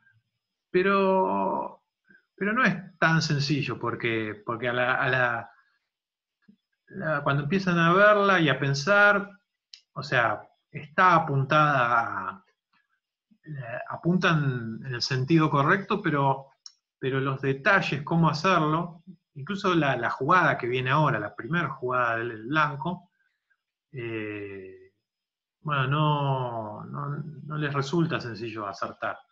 Este, eh, digamos, a cualquiera creo que, que le resulta un desafío. Este, yo ya no recuerdo cuándo fue la primera vez que vi esta partida. Lo que sí puedo decir es que las sucesivas veces que la repasé, me sorprenden dos cosas eh, que, creo que van a poder apreciar las ambas.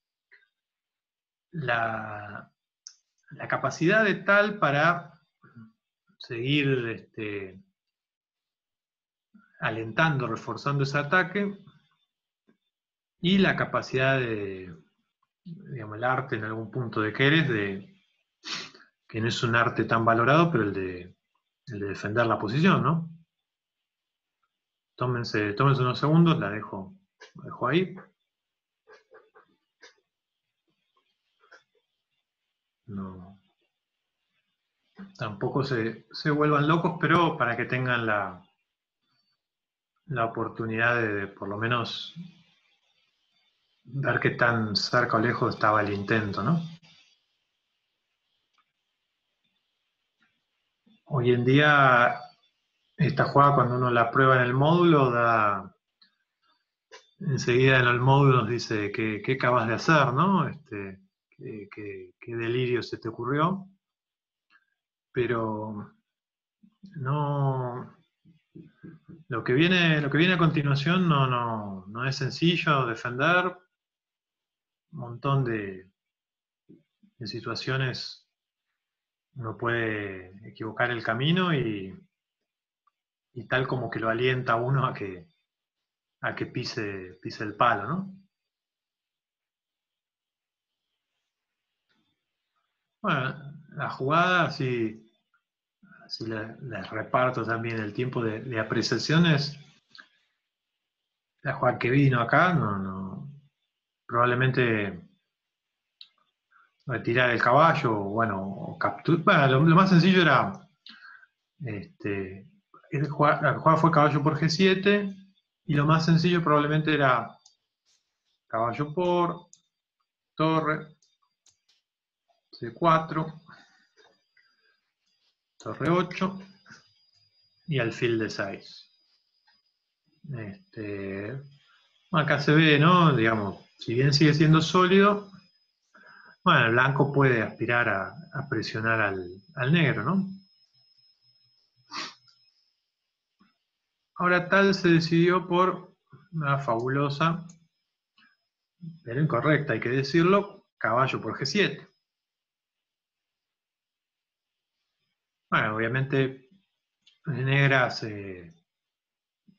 mate, mate inmediato no nos dan, o sea que, y como quedamos muy perdidos si no, si no aceptamos, hay que comer. En estas jugadas, por lo menos en estas primeras, voy a ir un poco más lento, así tienen tiempo de, de observar, de vuelta, ¿no? El que quiera comentar, lo hace por, por el chat. Y después, desde ya que después volvemos y, al final podemos repasarla toda. Pero también esta segunda jugada, eh, algunos se dejan... No, no, es fácil decir, bueno, jugar como tal y hacerlo, ¿no? Muchos se dejan llevar por, por una cierta jugada acá y, el ataque lo continúa de una manera distinta, tal. La tentación es un poco alfil por H6. Pero bueno, rey por, esto lo podemos mirar después. No, no hay gran cosa acá. No, eh, ya el rey se acomoda y, ojo, ¿no? Son dos piezas las que largamos. No pasa nada, nada esencial acá.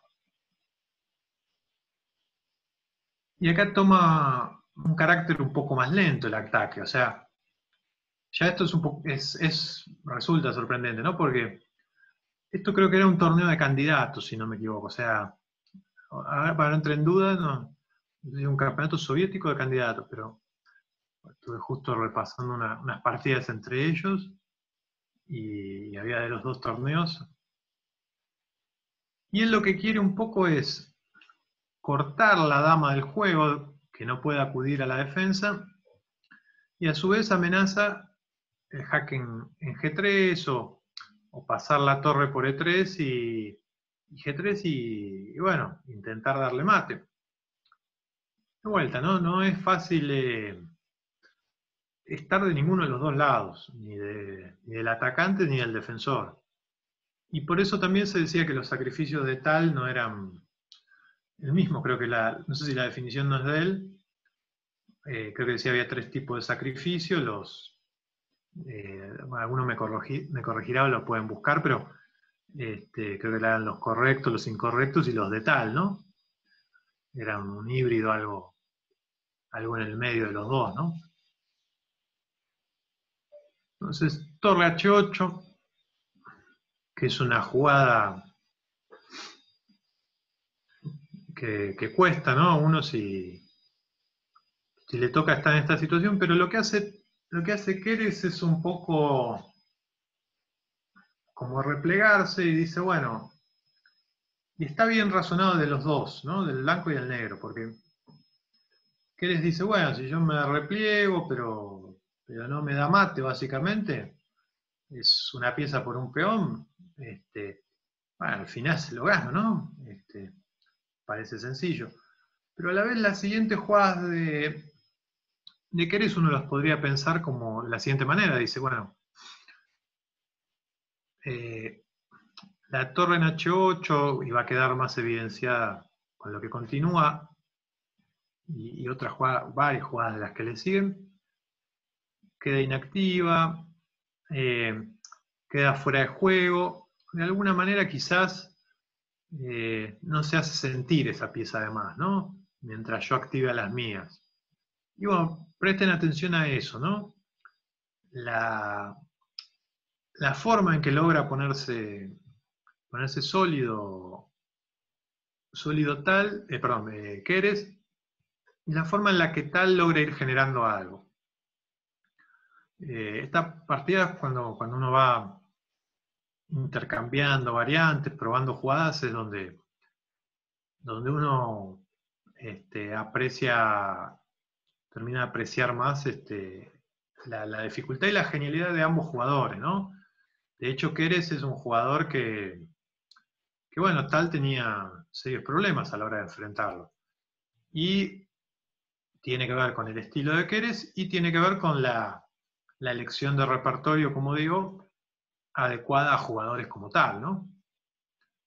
Dama H3, entonces irán, entre otras cosas, viendo que se amenaza a capturar y después pueden tomar en, en E6 y en E7, ¿no? Pues el alfil está indefenso.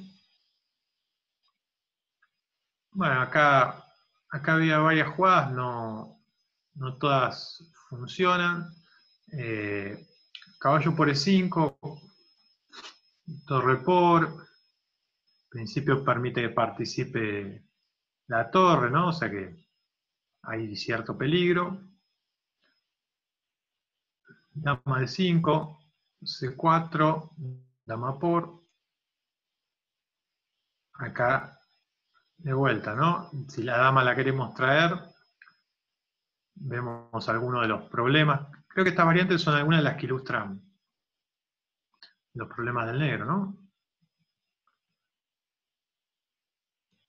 Entonces acá, de vuelta, bien, no es, sencillo, ¿no? Fíjense, la maniobra fue torre H8, torre H7. O sea, encontrarlo en la primera posición no, es fácil, también implicaba en algún, en algún modo prever este dama H3 de tal. O que, que, profunda la defensa también, ¿no? Caballo por F7, fíjense que ahora está defendido 7. Entonces, C4. Esta jugada también me llamó la atención, pero entre otras cosas, ¿por qué? Porque digo, es una jugada lenta al fin y al cabo, ¿no? Tenés pieza de menos. Se supone que tu intención era darle mate al negro y sin embargo haces una jugada tan, tan simple que no, no se le ve mérito. Eh, pero no, no, tiene, tiene lo suyo. Piensen que busca abrir el centro y que la dama participe desde acá y mire al rey. Entonces, eh, digamos, eh, expandió la lista de cuestiones que, el negro le tiene que prestar atención. Y, de vuelta, bueno, la, forma de jugar de, de es admirable en lo que sigue acá también torre F8, eh, caballo, F8 sosteniendo E6 y lo, y lo lleva a G6, que ahí tocaría el alfil de F4, quizás a la vez bloquea los jaques por, la columna G, y no estorba si quiero presionar con la torre sobre D4 ¿no? y, y activar un poco mi torre.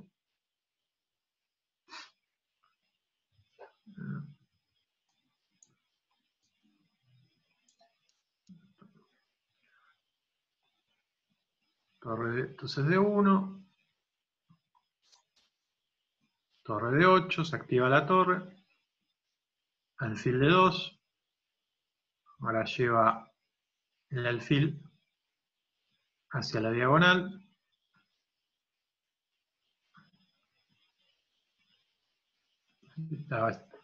también jugada para ilustrar este jaque, alfil por H6, torre por D4, fíjense qué importante que, la torre se una,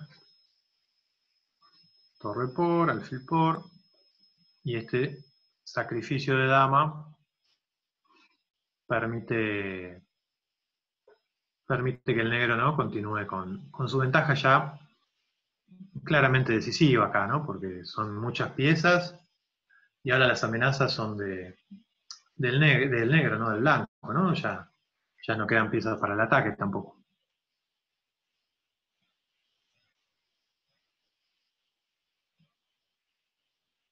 Entonces dama G3 no, el alfil va a C3, ubicación ideal para el ataque. Rey G8, de vuelta, ¿no? Este, el uso que, hizo de, esta torre es, eh, es increíble. Este, uno se pregunta, ¿no? ¿Por qué ¿por qué no hay tantos jugadores? Eh, y, a la vez, quizá que podríamos mencionar es Giro, pero, pero bueno, tal no llegó un poco, llegó más lejos, ¿no? Este, eh, ¿Por qué no, no, no se repiten? Bueno, no, no, no resisten tanto el análisis este, de los módulos, estas jugadas, este, digamos, de este juego tan especulativo como tal.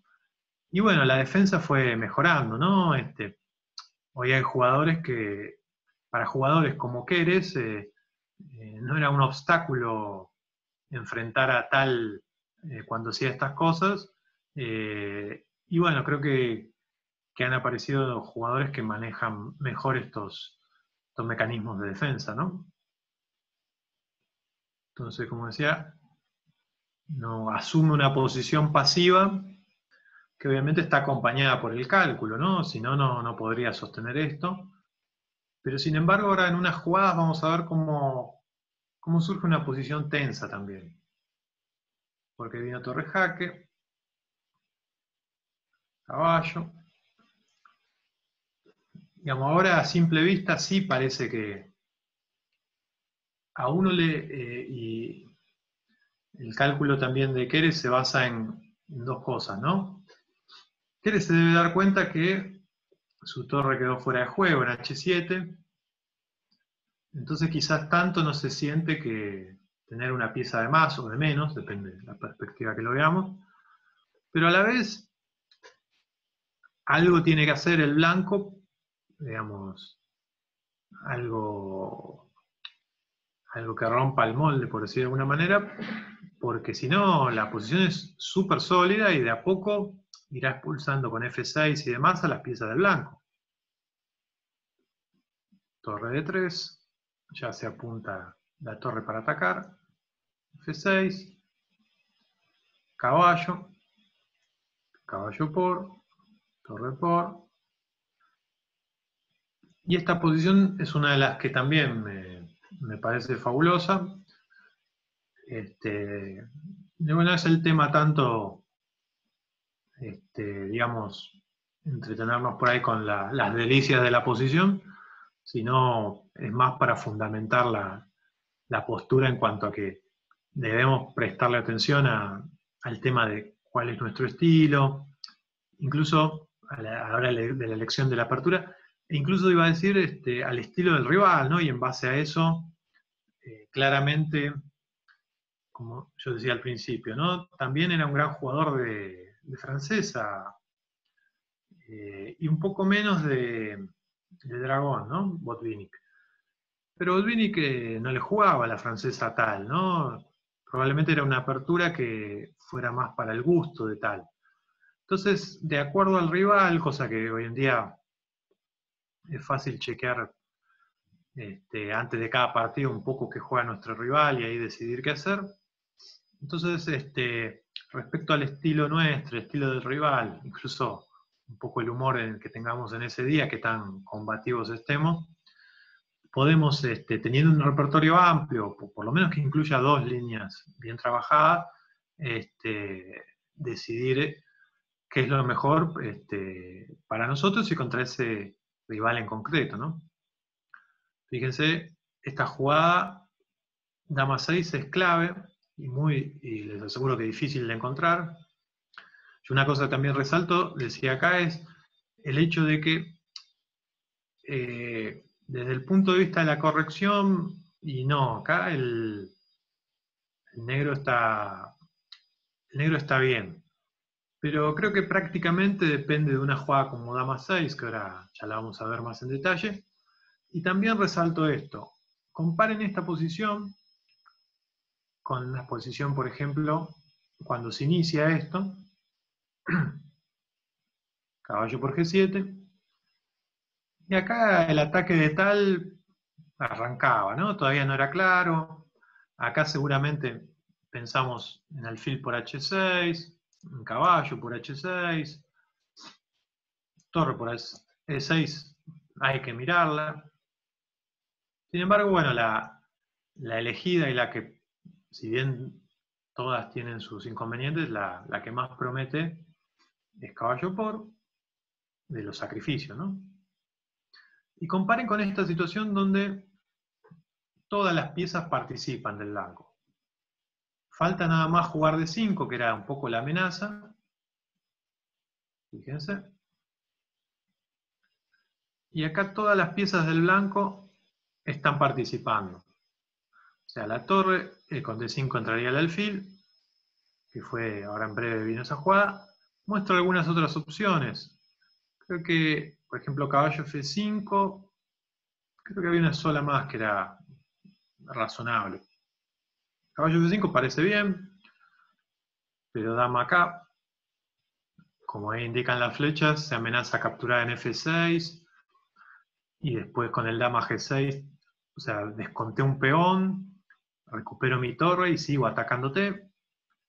Torre G7, quizá la única. Cambio torre, jaque, rey. Y ahora ya participa la torre, cae el peón de H, y si te salvas del mate, bueno, perdés bastantes cosas, ¿no? Bastante material. Otra posibilidad, 5, simplemente creo lo más fuerte peón por, y acá quedan todas las piezas este, con problemas, todas en segunda, todas con problemas. Esto ya pierde inmediatamente. C5 era otra manera de intentar que, colabore la dama. Ahora la dama parece que se incorpora a la defensa. Pero ojo, no, no es fácil de hacer esa jugada porque le abro camino al alfil, a la torre que mire a F6. Este, tiene sus, sus, inconvenientes también. Y dama C7, otra forma para que participe, pero de vuelta, ¿no? La dama podría venir a D3, ah, perdón, a F3 con un posterior de 5 y y creo que estas cuatro jugadas fueron, ¿no? Si no me equivoco, cuatro, ilustran bastante bien el problema que atraviesa el negro y por qué la incorporación de la dama por ese, con esa ruta tan extraña es, si no me equivoco, la única, o, era, es la mejor jugada, no sé si una de las pocas que, no permiten eh, mantener eh, la ventaja que tiene el negro. B3, muchas opciones no había. El B3 tiene que ver con que planeaba de 5 y no quiere que la dama participe de la defensa. Y bueno, ahora en estas próximas jugadas se va aclarando la situación, eh, pero tal no deja de, poner pequeños problemitas ante, ante cada jugada, ¿no? Por torre. Acá, digamos, ya casi no quedan piezas, pero pero sigue haciendo pensar, ¿no? Este, dama de 3, toca de 5 y a su vez apunta, está apuntando a H7, a G6. Eh, no, me detengo, pero si uno, si uno empieza a probar jugadas para el negro y, dice, bueno, a ver cómo me defendería yo, seguramente pieza, tengo una pieza, pieza y peón de más, y, pero resulta sorprendente que, hay que jugar con cuidado, ¿no? Todavía dama por B3, torre G3 y, creo que no tiene defensa acá contra el dama por H7 y el dama G6, ¿no? Si me retiro de torre, acá me ganan todo. Entonces, dama 6, cosas que había que, calcular de antemano también, pero ahora este retorno de dama ya es suficiente para, para contener la ofensiva de tal. Igual miren cómo, cómo lo hizo, digamos, este, cómo lo hizo restringirse a Keres, ¿no? Quedaron todas las piezas apretadas, apelotonadas. Pero bueno, a partir de ahora, es casi el último jaque este, y a partir de ahora ya se empieza a liberar, ¿no? Empieza la liberación del negro. Vuelve en la torre, el fila H, eh, de 2, perdón, tocando H6, por. Y ya acá calcula que después de estas jugadas no hay, no hay defensa. Jaque, caballo vuelve, fíjense ahora ya se están terminando de activar todas las piezas. Probablemente siguió por, por inercia, no tal, pero bueno, ya, ya está todo bajo control acá para el negro. Rey H3, torre D4, torre G4, ya no va a ningún lado ese peón, falta la participación del alfil y, se termina. Y acá, con el cambio de, de damas, también está todo listo. Bueno, sí, sigo simplemente para mostrar el remate, pero esta posición ya estaba muy, muy perdida.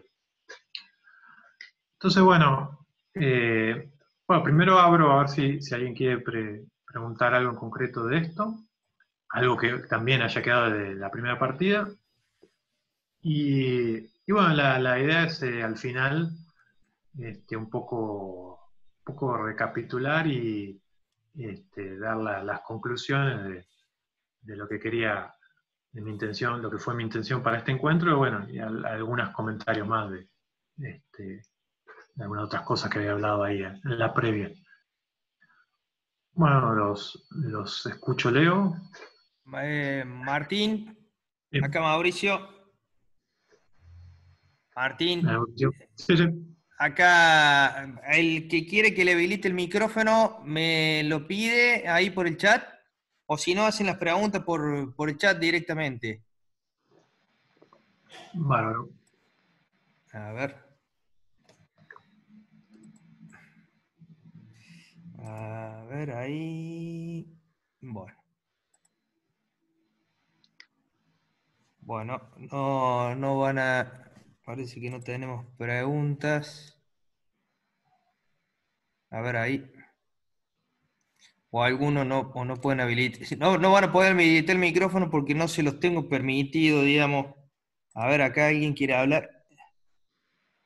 Yo pregunté en relación al repertorio. Ah, ahí te habilito el micrófono, Esteban.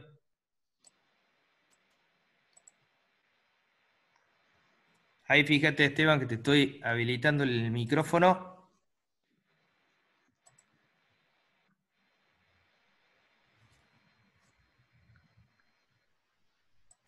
Hola Esteban. Esteban, habilitate el micrófono, Esteban, porque ahí te lo estoy, te lo estoy permitiendo.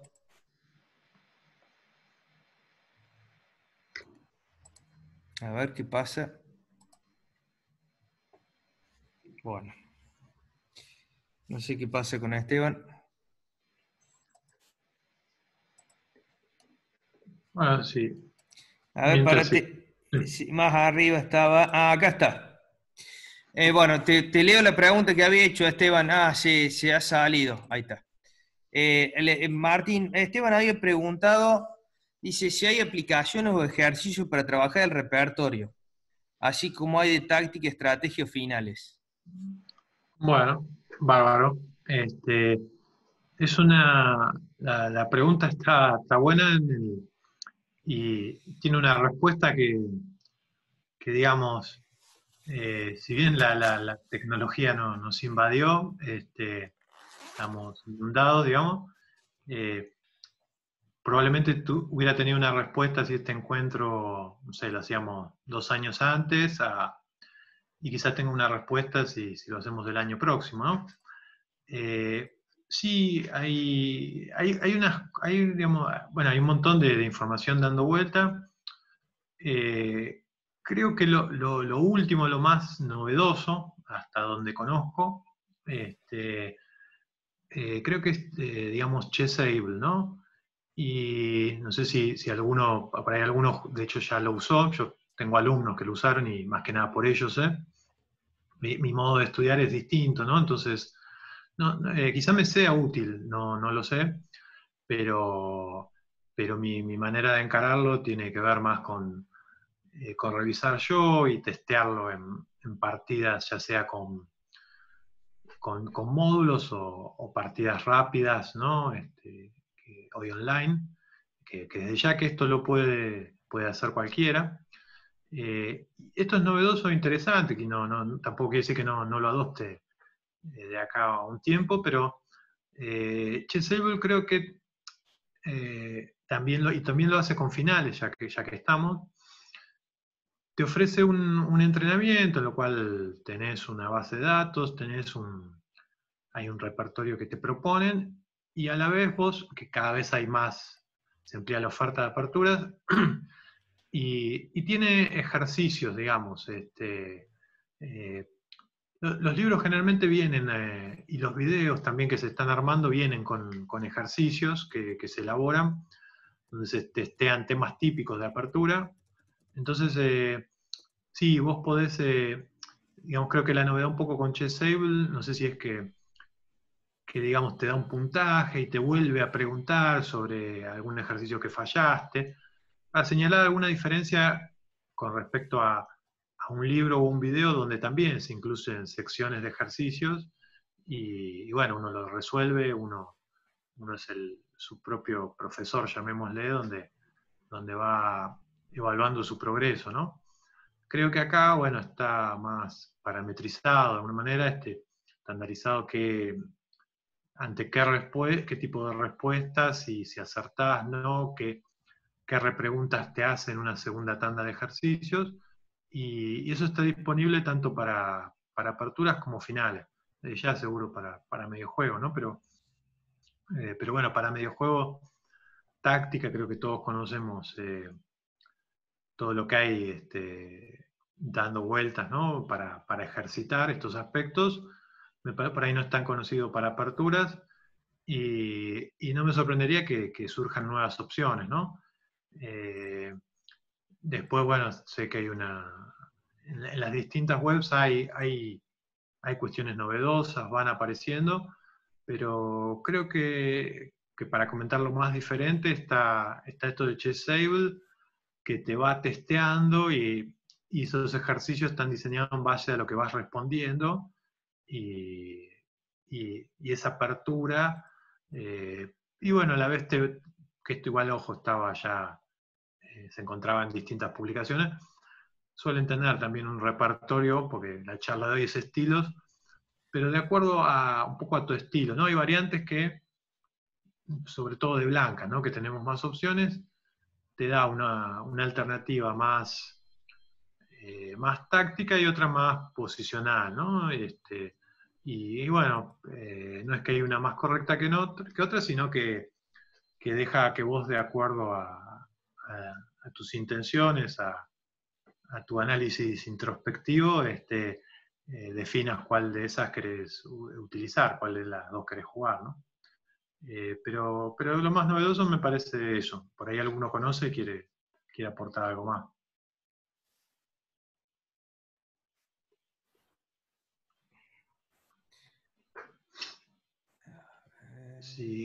Ahí, eh, ahí, les, ahí les, puse la opción para que puedan reactivar su micrófono.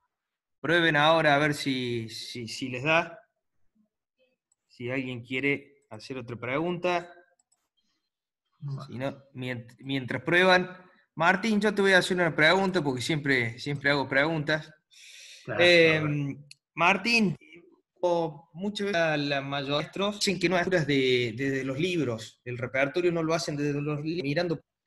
Em, eso vos también estás de, dentro, porque muchas veces los chicos preguntan, recomendamos un libro de la Caro Cano, de la francesa, y la mayoría dice, no, no, no, libro no voy a recomendar porque yo lo estudio directamente mirando partidas de Chef Base y Pródulo.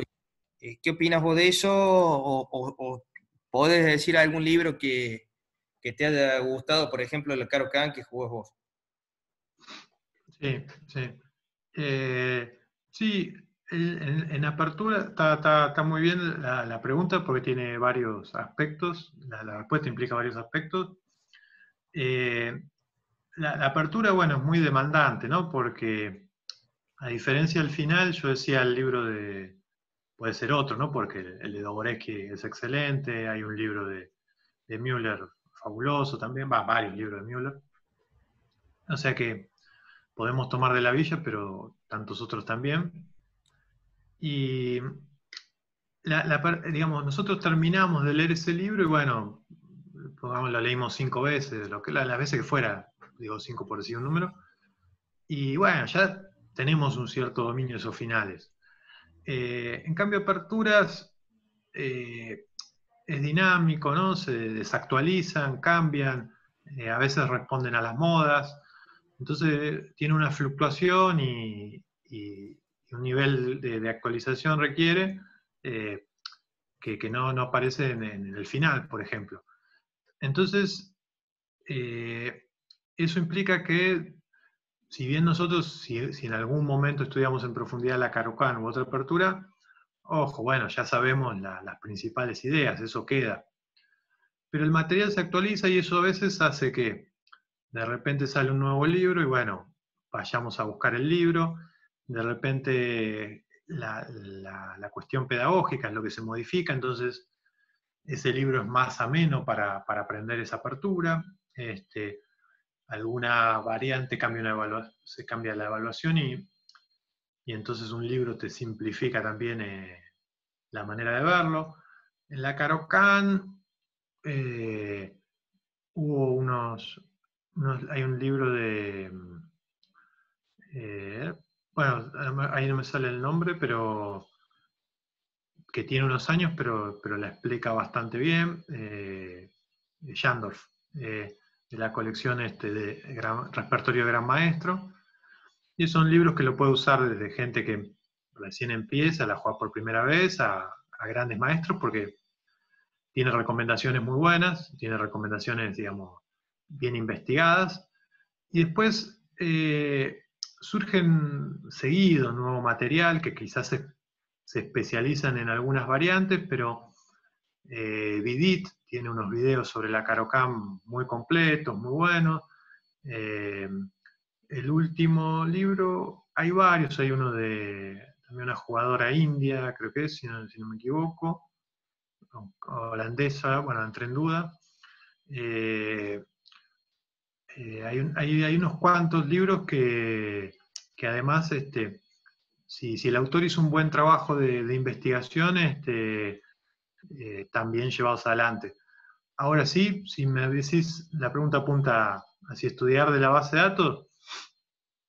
La base de datos la necesitamos para, para investigar, actualizarnos, pero bueno, no, es como Alpha Zero, Stockfish o cualquiera de ellos, ¿no? No nos explican las cosas que hacen, ¿no? ¿Por qué se jugó tal cosa en tal partida? Entonces eso requiere que en un libro, un video, alguien nos haga esa explicación, verla en algún lado.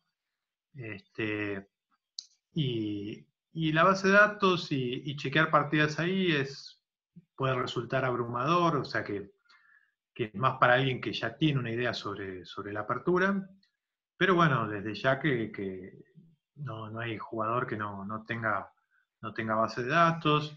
Eh, he encontrado también este, material disponible, hay, por decir, hace poco recomendaba a alguien un, un video donde se explicaban, la, video disponible en YouTube para cualquiera, donde se explicaban las principales ideas y, qué es la defensa, eh, perdón, la apertura española, ¿no? Este, un video que, digamos, fíjense también eh, la, complejidad de la teoría, que la apertura española, cuando hablamos, si vos me preguntás, decime cuáles jugadas son la apertura española, y la posición más típica en realidad de ese video eran más de 10 jugadas y, más de una hora y media, o sea que este, ahí recién empieza la española.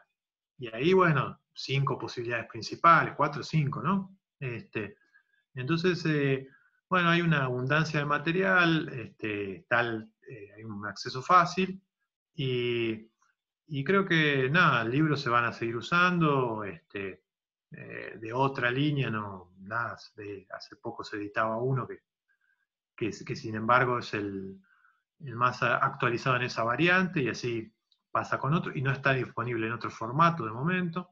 Este, sí, muchas veces hay muchos, muchos libros que se pasan al formato Chessbase y es válido y que uno quiera mirarlos ahí. Una simple recomendación adicional es eh, que uno en Chessbase está la tentación de verlo con el módulo y el módulo hace que, que seamos más perezosos para pensar la apertura, pero, pero creo que debería uno, bueno, tener la, la voluntad de desactivarlo antes de, empezar a indagar y solo, solo activarlo en una segunda mirada o, como este, este, libro que mencionaba, y, hay varios ejemplos de eso, o bueno, mirarlo de, otro lado, este, el, sentarse y armar el tablero todavía creo que sigue siendo beneficioso, ¿no? Eh, al fin y al cabo, si bien justo no es un comentario para esta época, pero, pero bueno, la, mayoría de los torneos, eh, cuando todo esto pase, se, volverán a, jugar presencialmente y bueno,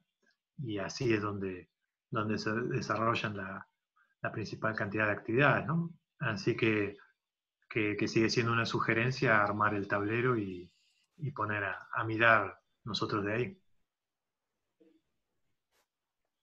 Muchas gracias, Martín. A ver.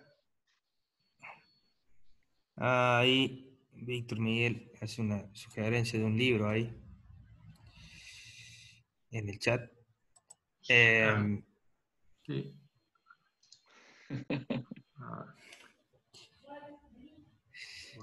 Bueno. Eh. bueno a ver, eh, Mauri, si puedo. Sí, ahí, eh, Juan. Sí, Maure. Bueno, Martín, la verdad que muy lindas las partidas. Justo mostraste esta, la de Tal que eres, que es una de mis favoritas, ¿no? Aparte, mis dos jugadores, uno de mis dos jugadores favoritos, ¿no? hermosa la partida, hermosa. Ah, el módulo ahora dice que es incorrecto el sacrificio rápido, ¿no? Claro, se da cuenta rápido, sí, sí. Quieres se debe haber pegado flor de susto, pero. Claro, claro, claro. pero hermosa la partida y se defendió activamente, que era muy linda la partida. Claro, este, sí, este, tal cual. Yo, eh, si bien pierde tal, pero entonces uno, no, era el objetivo hablar tanto sobre tal, pero este, no, no era una clase sobre él, digamos, pero eh, uno tiende a mostrar las partidas donde, donde esos sacrificios triunfan, pero bueno, este, por más que haya perdido, no, lo que hizo no, no es menos brillante y, bueno, y, destacar que bueno, no se destaca tanto el rol de, del bando defensor, ¿no? No, muy bien, muy linda, muy lindas las partidas, la verdad. Bueno, muchas gracias. Ahí tenés preguntas, Martín. Sí, yo recién antes no, me aparecían, eh, ahora estoy viendo bastante del chat, quizá. Ah, eh, preguntan ahí, Martín, si estás leyendo, Marco Ferrer dice, si los ajedrecistas de antes tienen más mérito que los actuales por el tema de la tecnología.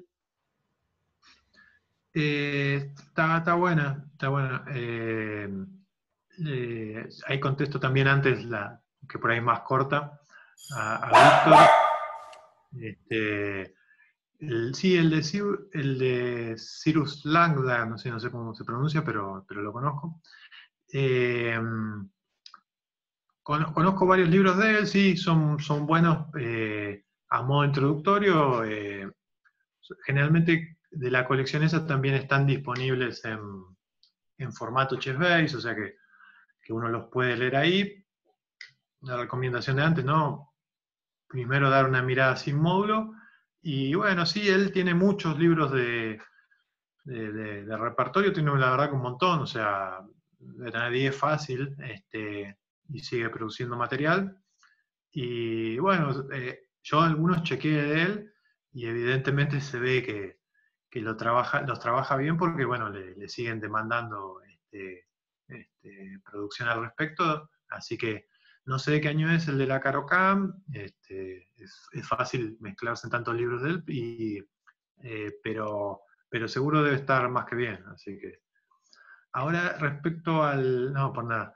Respecto a la pregunta de Marcos, eh, sí, no es sencilla, no, es sencilla la respuesta, eh, porque, pero la puedo centrar un poco en, Magnus y creo que se va, ahí uno puede empezar a, extrapolarla a otros. Sí, pero, eh, sí es, mucho más fácil, en algún punto es mucho más fácil. Eh, ahora es más, sencillo, digamos, que alguien con, talento, incluso viviendo en algún lugar con poca tradición ajedrecística y acceso a, para la participación a, torneos, eh, pueda desarrollarse mejor. Eh, pero sí creo que, Magnus es un ejemplo de de que sigue siendo un juego muy difícil, ¿no? Este, entonces es difícil, complejo también asignar eh, mérito, porque, porque a la vez una, pregunta que me hago con frecuencia es, bueno, o sea, eh, Magnus eh, es el, mejor del mundo, creo que ya van 10 años, ¿no? No sé si alguno conoce el dato más preciso, pero creo que van 10 años, eh, que es el campeón del mundo. Creo que no tenemos duda de que, de que va a lograr prolongarlo, extenderlo, unos, unos años más, no, no habría dudas al respecto. Y lo más sorprendente es que en algunos momentos se pincha y, uno pensaría que los rivales, bueno, ya deberían poder alcanzarlo acercarse. Y él como que logra reinventarse, ¿no? Este, y, en ese aspecto todos tienen más o menos lo mismo a disposición.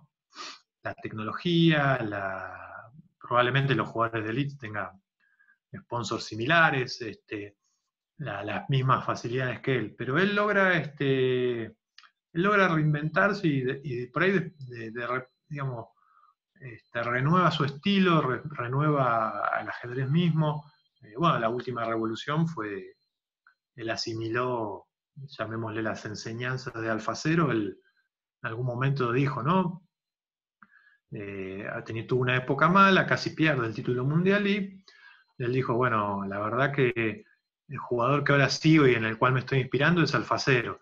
Y, bueno, en, su ajedrez este, tuvo un impacto positivo, de hecho eh, hay veces que gana a jugadores de elite de una manera que decimos, bueno, ya es difícil ganarle quizás a nosotros, a, alguien que esté incluso por, por poquito, llamémosle, debajo de nuestro nivel, sea cual sea, y él lo hace con jugadores de elite como si fueran se enfrentara a jugadores que, recién empiezan. Y bueno, eso me, parece sorprendente. Entonces, respecto al mérito en concreto, no, no, no, es sencillo, sí creo que es más fácil y, y en algún punto está, está bueno para, para que muchos jugadores que, que, quizá no tenían la posibilidad, se les dificultaba, puedan acceder. Este, y, pero eh, en algún punto se, se, democratiza el conocimiento, que no es este, y la, posibilidad de, medirse con rivales duros o, entrenar con, entrenadores fuertes. De hecho, ahora tenemos disponible el material de, la famosa escuela soviética, pero, pero bueno, por ahí ya es más complejo de hablar de, mérito, ¿no? De hecho, el caso de Magnus es un, es un, fuera, fuera de serie, ¿no? Este, y creo que, no sé si a Dubovia hace poco opinar al respecto, ¿no? De, eh, algo, similar decía, creo, ¿no? Pero que él era un poco, era un poco más sencillo para él, lo, creería que, tiempo atrás. Pero bueno, no, no, deja de ser un juego súper rico por eso y, un juego súper difícil, ¿no? Este, así que sí, sí, ya me dirá Marco si le contesté, pero mientras paso a leer a ver otras que veo acá escritas. Ahí te hace una pregunta Liliana Burijovic, Martín. Sí, sí. Eh, no sé si la lees.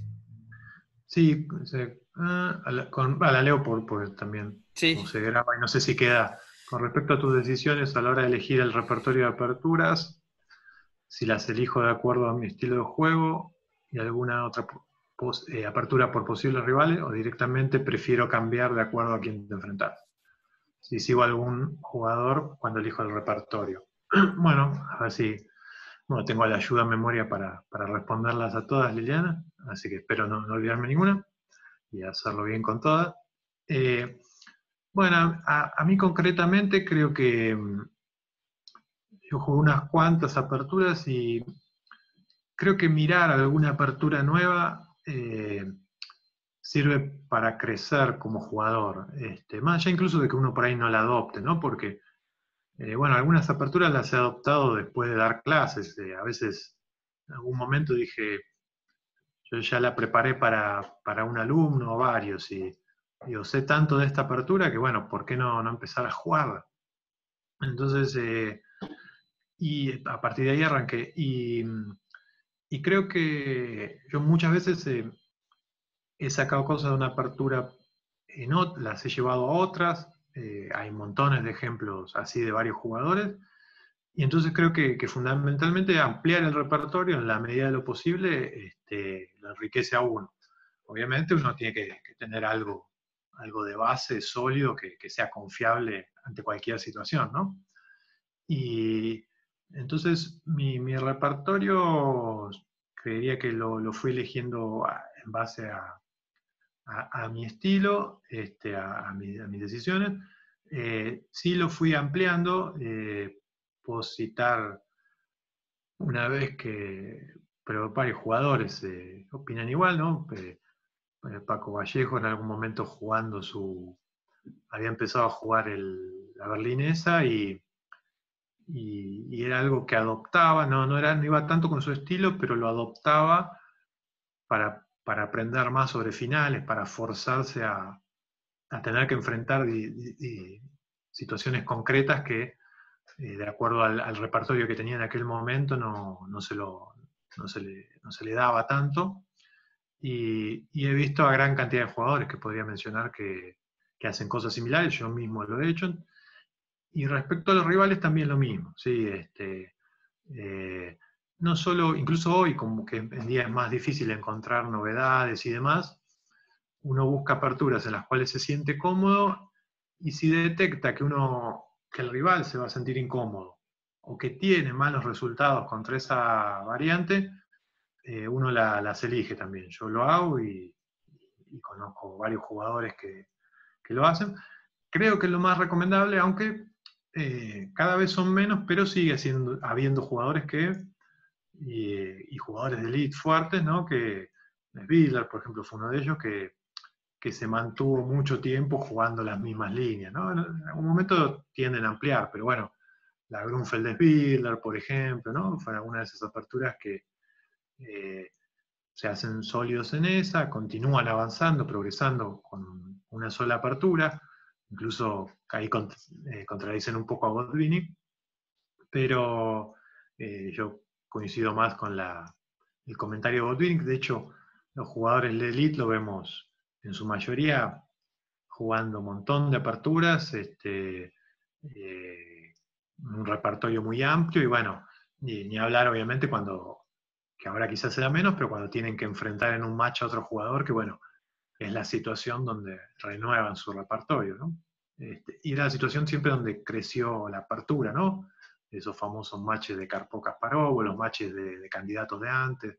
Este, así que y sí, tal cual, este, cuando, eh, cuando armo el repertorio, siempre, capaz que a la vez ya, ya me, alguna apertura me conquista por las partidas de un jugador, entonces bueno, ya parto de un jugador y, y sí, este, eh, por ejemplo, en, la, en Carocan, bueno, como, digo, hubo muchos campeones mundiales, este, si, tomáramos eso de ejemplo, este, pero sí, inevitable, incluso aunque no queramos, siempre tenemos algún referente que, sus partidas no, nos parecen inspiradoras y, estamos incluso atentos a, la próxima partida porque sabemos que va a encontrar alguna idea eh, en, esa, en esa apertura que nos gusta. Y bueno, de, cada apertura ha tenido a, su referente, ¿no? Por, repetir algunos que mencioné antes, Kasparov en la. Kasparov fue referente en muchas, eh, incluso en su momento, Keres y Kasparov contribuyeron a, que se haga más importante, eh, a que cobre notoriedad una apertura que, siempre fue un poco relegada, que es la Tarrash. Kasparov, obviamente, con la, con la India de Rey, ya lo mencioné. Y bueno, podía dar varios ejemplos más. Karpov Banan estudió en la Carocan y, así. Este, así que bueno, creería que si, quedó algo lo retomo, pero creería que, contesté ahí todo lo, de Liliana. Hay una pregunta de Gastón Moiset que dice que te conoce de un torneo de Chile, Martín. Es de acá de Córdoba. Sí, sí, ¿qué tal, Gastón? Este, ahí estoy leyendo. ¿eh? Sí, sí, yo, yo bueno, Gastón, Gastón te conozco de, nombre, no, después siempre me olvido, y estoy seguro que no, nos, nos cruzamos en algún torneo, pero, pero me parece que no tantas veces. Este, y debe ser el de Chile de, Linares, supongo, ¿no? Linares, Linares no el famoso, que por suerte estuve en el otro, en el famoso, este, en el abierto, obviamente, y que fue, fue un lujo, se jugaba en paralelo el super magistral ese, y, sí, supongo que, si bien fue jugar Panamericanos, otro torneo en Chile, me, imagino que puede ser un sub-26. Eh, ah, mira, bueno, ahí, ahí me entró la duda, ahí me entró la duda. Este, con Fernando, ah, yo jugué un sub-20, no sé, no sé, el sub-20, ese sí fue en Santiago, porque ganamos los dos compartido con, con Fernando.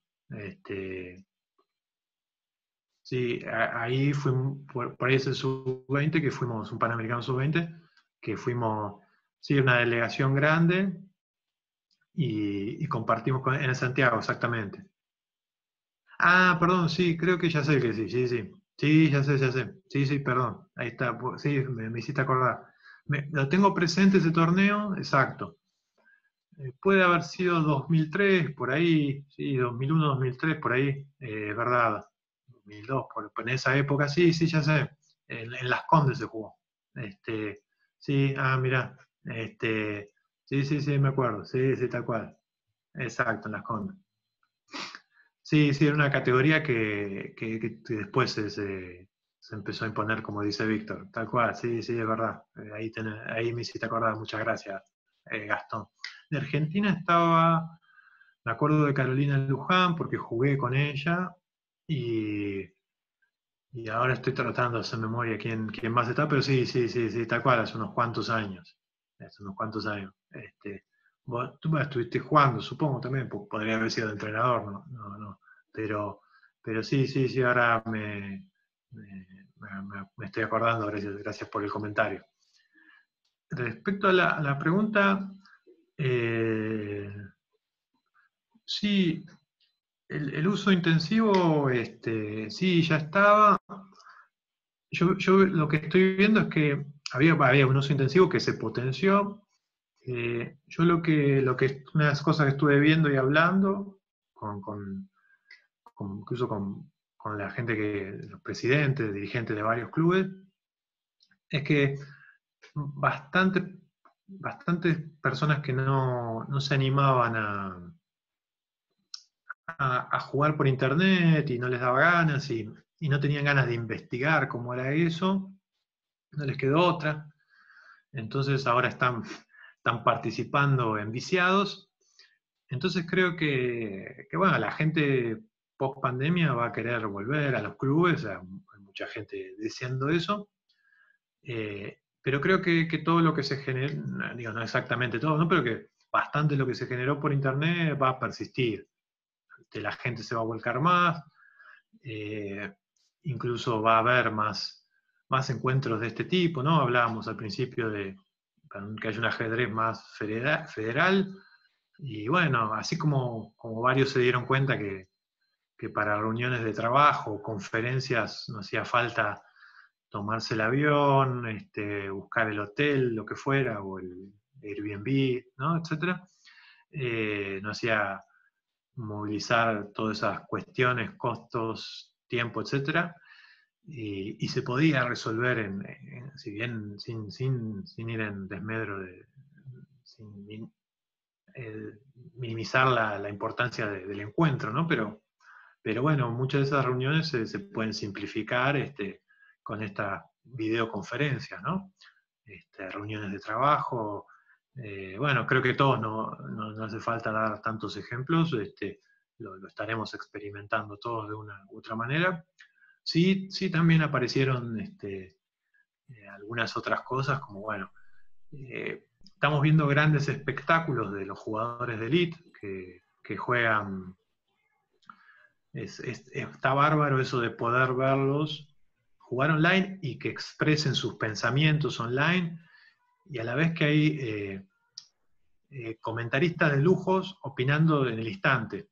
O sea que, digamos, si bien puede estar asistido por un módulo, eh, están diciendo en el momento lo que piensan, no, es un análisis de, libro, de revista o de un video grabado que, bueno, que pueden eh, elaborar esa, frase, sino que están dando su opinión eh, en vivo y, bueno, la, oportunidad de, escucharlos opinar de esa manera este, tan, tan transparente, creo que incluso este, yo me, he puesto a escucharlos para, aprender, ¿no? Este, eh, muchas de esas transmisiones me fueron realmente muy instructivas. Este, son, es lo que surge, ¿no? Porque están comentando, no saben qué partida va a tocar, si va a ser entretenida, aburrida, si va a haber muchos sacrificios, si va a ser más posicional, qué va a pasar, lo desconocen, pero y se da cosas muy, muy entretenidas y didácticas. Así que,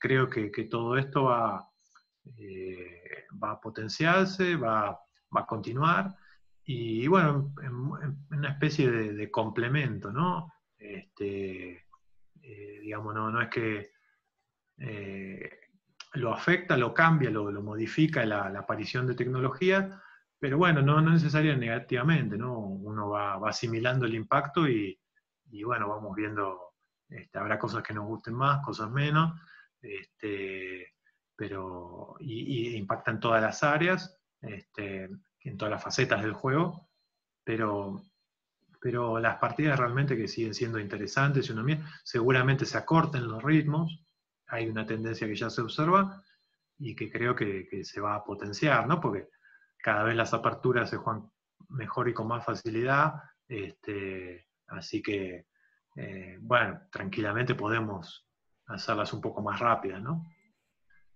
Eh, bueno, creo, creo que, pude contestar.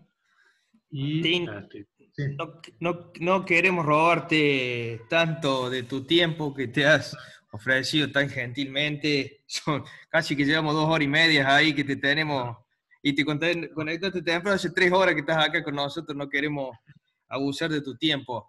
Martín, yo lo ah. único que eh, por sobre todo eh, agradecerte que, te hayas tomado este tiempo para, ilustrarnos a nosotros. bueno, la gente no sabe, es, cierto que soy uno de los primeros los que contacté y, tu respuesta positiva me hizo que, también podamos, lo mismo que la de Peralta, decir, bueno, vamos a hacer unas lindas charlas eh, todos los sábados y, obviamente todos los demás que después se sumaron, pero fueron a los dos primeros que, contactamos por fuera de los jugadores de la provincia de Córdoba y que nos dijeron que sí inmediatamente, así que, estamos muy contentos por eso. Eh, quiero, eh, Martín, porque hay por allí gente que, no lo conoce esto y no lo dijimos tampoco, creo, en la, en la introducción. Vos das clase en una diplomatura de ajedrez que la dicta la Universidad 3 de Febrero. ¿Nos puede comentar brevemente eso para, no, no, robarte tanto tiempo? No, no, eh, bueno, mil gracias por, por tus comentarios, Mauricio, por, los comentarios ahí que, voy leyendo. Este, gracias a, todos los, que están escribiendo, participando, me, alegra que, les haya gustado. Y sí, eh, yo, bueno, de hecho vengo de dar clase, vengo, no, me moví de la silla, ¿no? Casi, pero, este, pero bueno, antes de, de, estar acá, estaba en esa clase, eh, dando clase en la diplomatura de la Universidad de 3 de Febrero. Es una diplomatura pensada para los que quieren, es una diplomatura universitaria, o sea, es un título universitario, para los que quieren eh, dar clases de ajedrez. Eh, van, a, van, a, encontrar esta, bastante información y se les puede dar más este, en la página de la universidad, desde ya. Este, está bastante difundida en, los medios para hacer una, breve descripción, bueno, yo soy docente en dos materias. Como decía, está orientada no tanto para el que quiere mejorar como profesional, aunque le puede sacar provecho, sino a quienes están en, la parte pedagógica, a los docentes de ajedrez. Eh, está pensado a, los docentes, eh, saben que en, Capital hay, una, un plan escolar este, en la ciudad de Buenos Aires y está más desarrollado el ajedrez en las escuelas. En la provincia se está desarrollando de a poco, va creciendo y, la idea es que, bueno, por un lado, eh, a los docentes les dé los conocimientos y, les sume puntos, ¿no? Como, como docentes este, para la hora de, su calificación. Tiene una parte ajedrecística, está, está, diagramada en base a los que vienen de, de, la docencia y conocen poco de ajedrez, y tiene una parte más pedagógica, a la inversa, ¿no? Para los que vienen del ajedrez y no, no, no tienen tantos recursos pedagógicos. Y, y, de hecho, bueno, esta es la séptima comisión este año. Eh, sinceramente fue, ah, fue bastante exitosa, ya se lo imaginarán si, si van siete años que, que, la venimos dando. Incluso puedo mencionar que se amplió de, de un año que duraba a un año y medio. Este, así que prevemos que, que puede haber una futura ampliación. Y sí, a la pregunta de Víctor, se puede realizar, a ver, eh, este año forzosamente se está realizando por Internet. Y tendrían que consultar a ver qué posibilidades hay de, arrancar este año, si alguno lo desea. La nueva comisión empieza el año próximo y hace unos cuantos años que también venimos intentando que, la Universidad de 3 de Febrero tiene, tiene una plataforma virtual, se utilizaba de otra manera, eh, pero y tenía una oferta acotada, no es que estaba todo disponible, todo lo que se da en la universidad. Y bueno, creemos que ahora si bien se te venía trabajando para que sea online, virtual, creo que ahora después de esto, de, que este año la estamos dando este, de manera online, eh, con esta situación que nos tomó por sorpresa, creo que eh, nada, a partir del año próximo eh, ya, se están realizando esfuerzos para, para que, bueno, este, aunque se, solucionara todo, apareciera la, vacuna o desapareciera el, virus, este, se pueda dar de manera virtual. Este, así que que sí, este, en el contexto que, que, nos encuentra el año que viene, sí, seguramente va a estar disponible virtual también para hacerlo y quizás si alguno quiere consultar, este, todavía estén a tiempo de, arrancar este año. las materias algunas ya terminaron, algunas están terminando por el cierre del semestre, pero bueno, básicamente es eso, es una diplomatura que dura un año y medio, eh, que apunta a los que están interesados en ser docentes de ajedrez, y, bueno, que, venimos hace años este, eh, reforzándola, se ha ampliado y, este, bueno, no, por ser docente ahí, este, sino creo que, en varios hechos se ven los frutos, pero, pero en base a eso que, bueno, al que esté interesado se lo recomiendo. Bueno, muchísimas gracias Martín. No sé si alguien tiene alguna otra preguntita cortita, que no lo, no lo, no lo demoremos tanto acá el maestro. Eh, si no, Martín, agradecerte una vez más eh, la presencia. Muy, muy buena la clase, muy instructiva, muy lindas las partidas y los consejos que, bueno, que nos has dado. Eh, si entiendo que ya no, no queremos robarte más tiempo, así que, que Sí, a, despedida, a modo despedida les, conté si pienso volver a jugar, pregunta Víctor. Ah, sí. Eh, sí, un poco lo hablaba con algunos al principio. Y bueno, estoy, eh, la, situación actual, el, no, el no, digamos, no moverme, no desplazarme, que esos tiempos no, entre otras cosas, ¿no? Uno no, no, no, los, invierte en eso.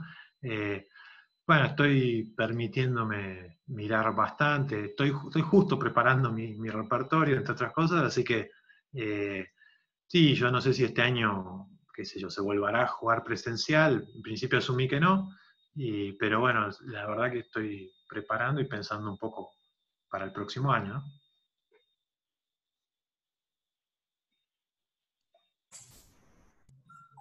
Bueno, Martín, entonces esperamos que que saques pronto el título de gran maestro y que seguramente que si volvés a jugar con toda la furia lo vas a hacer.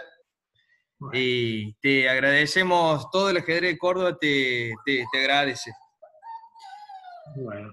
Bueno, gracias a ustedes por, por tenerme en cuenta, gracias por, por todos los comentarios que, que, me han hecho, por, por participar y, y, bueno, ya, aunque sea mediante otra videollamada, ya, ya nos volveremos a ver seguramente. Bueno, me despido, si eso, nos estaremos viendo y bueno, gracias a todos. Listo, Martín. Muchísimas gracias. Nos vemos. Bye.